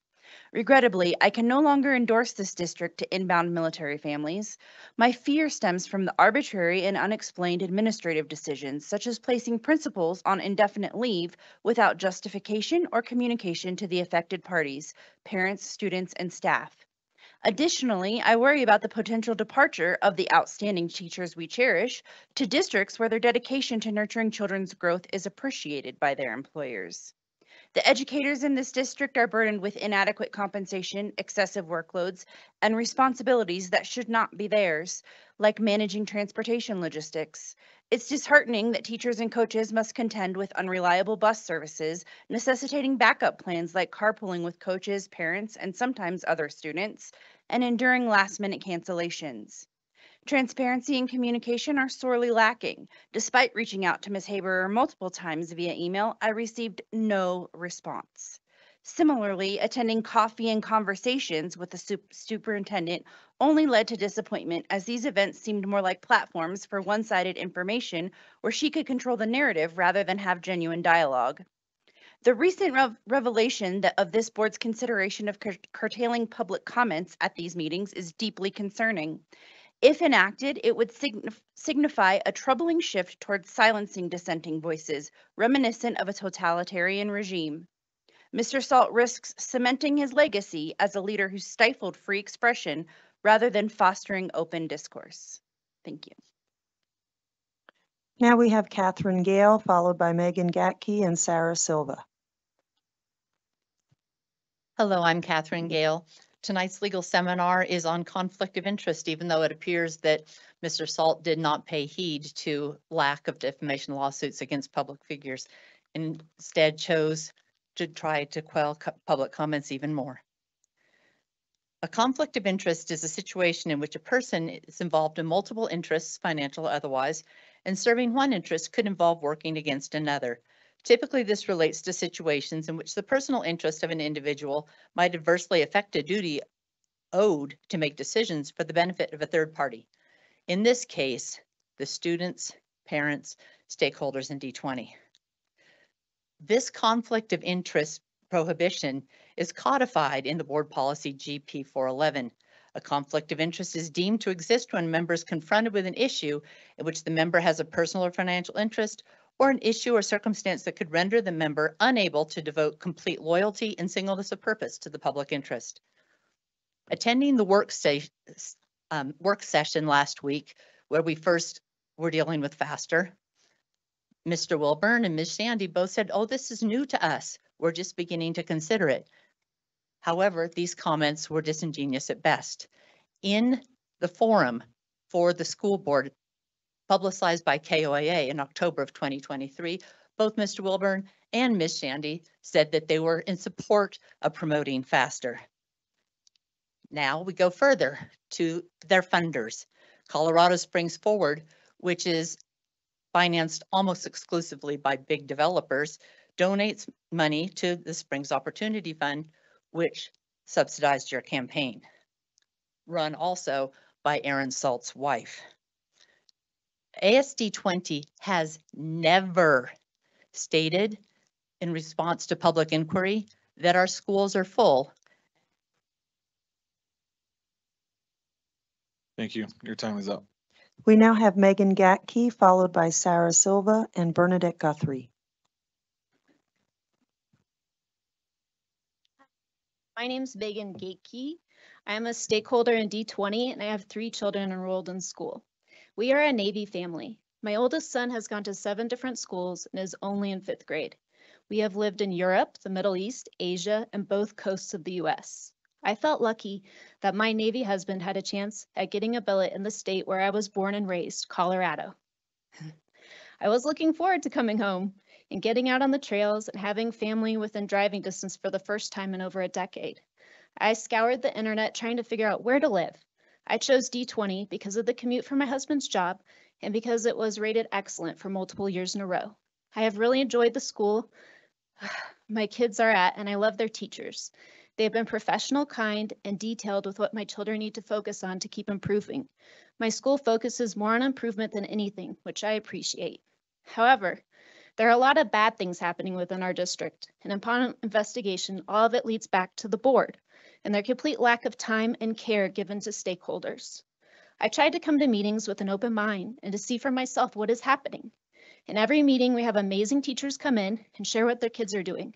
There's a lot of order and excellence coming from different schools and programs. And then I see other things that are concerning like book banning and the suggestion of implementing FASTER. I want to say I am unbelievably proud of the young, brave students coming up here with all of us old people who bravely speak their hearts and concerns. It doesn't feel good to have to spend time fighting back against things that I feel like we shouldn't even be wasting my time discussing. I've had to spend time figuring out why the board is catering to book banners, or why board members are hugging Moms for Liberty members. Why are videos being turned off? Why isn't there any discussion about paying our teachers more when we have depressingly low teacher pay? What is being done to retain teachers and staff? Why are we talking about FASTER when there are a thousand other things we can do to make our schools safer that don't involve the risk of an accidental shooting? What is the board? We now have Sarah Silva, followed by Bernadette Guthrie and Patience Byers. Hi, my name is Sarah. I'm a parent of two D20 students and an active duty service member. But tonight I'll be reading on behalf of staff members. I'm so thankful that we are finally talking about arming teachers and staff. This has been years in the making and I'm excited to be part of these conversations. According to Cambridge.org, the art of arming is to provide yourself or others with equipment or knowledge in order to complete a particular task. To that end, arm teachers and staff with money. Pay us a livable wage where we can live in the district that we teach in. Give us the financial ability to pay for insurance, add a stipend, or find a way to us to pay for classroom supplies for our students. Make it so we don't have to work more than one job to support our families. Arm teachers and staff with respect. Give us the respect we deserve to make choices that we have been trained to make. Librarians have the knowledge base to choose books that are appropriate for the students in their levels. Teachers have spent years learning pedagogy to continually learn and grow. Trust them to make the best decisions. Arm teachers and staff with personnel resources. Ensure that there are mental health services available to staff and student at all times. Arm us with school counselors, school psychologists, arm us with paraprofessionals to work with struggling students one-on-one in our classrooms. Arm us with bus drivers so that we can take our students into the community for career and technical training. Arm teachers and staff with high-quality facilities, redesign spaces that are welcoming and safe for all students and staff, regardless of gender, religion, race, or health status. Arm teachers and staff with balance in their lives. Give them the time in the day to do their job, their whole job. Recreate schedules if needed to ensure that students are getting teachers who have time to perfect their teaching, give feedback on assignments, and connect with students and families. Don't arm teachers and staff with guns. Instead, make proactive choices to arm our teachers and staff with resources that will give students the best opportunity to learn and grow. Our next speaker is Bernadette Guthrie, followed by Patience Byers.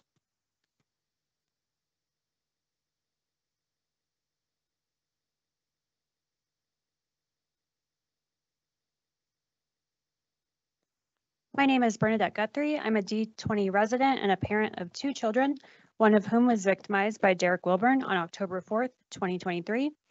I'd like to thank Ms. Bramschreiber for her earlier presentation detailing the parental choices we have in D20 when it comes to our um, when it comes to our libraries and most importantly, educating this board on how to use Follett Destiny to check to see uh, what books are in which libraries. I'm still waiting for you, Mr. Salt, to correct the email that you sent me on December 4th where you claimed the book push was in middle school libraries. So I'll look for that in my inbox tomorrow. Perhaps once you verify this yourself, you will admit you will be willing to admit that Mr. Wilburn reading graphic sexual passages about rape and incest to young children who would have no other access to that material is a matter that a real leader and child advocate would address. Um, Mrs. Cons, in May of last year, you wrote the following in an email to a different constituent. I will never condone sexually explicit material being available to minors.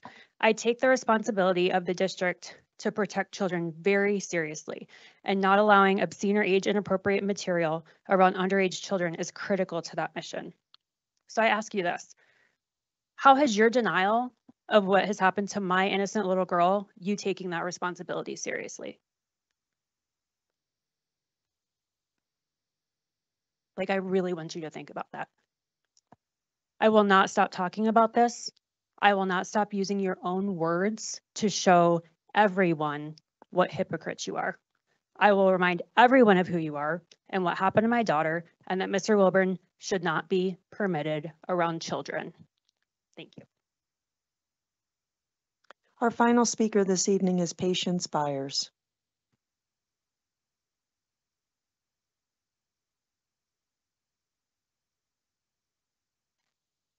Good evening. Uh, I just want to start out by saying I really dislike that I have to be up here. Um, this is one of my, public speaking is one of my uh, most difficult things to overcome. Uh, but because of the recent um, discussions uh, with the school board, um, I feel that it's necessary. Um, regarding FASTER, I'm not really sure what else I can say that hasn't already been said. So why am I up here? Um, my kids, my friends' kids, their teachers, um, the very humans that you are supposed to be advocating for. How can I sit back and not speak up for them? I'm here to say that as a parent of children currently attending D20 schools, I am fervently, sorry, opposed to bringing the FASTER program to our school district. Many of you ran um, on your, for your current position on being for parental rights and parental choice. If you truly cared about what parents, us parents think, then you would go to great lengths to get our opinion before implementing FASTER. That means bringing questionnaires, surveys to, uh, to the parents, to the teachers and staff, and to the students, because ultimately that's what we're all here for, right? The students. And I'm good. Thank you.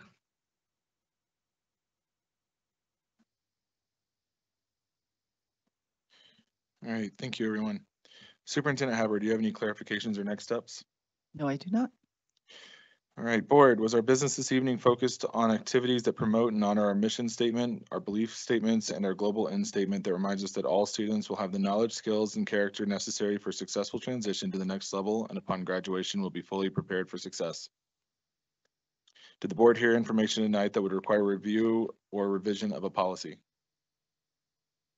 Did the board hear information tonight that would require a new policy? Did the board hear information tonight that the board would like to include on a future agenda? Without further ado, This meeting is adjourned.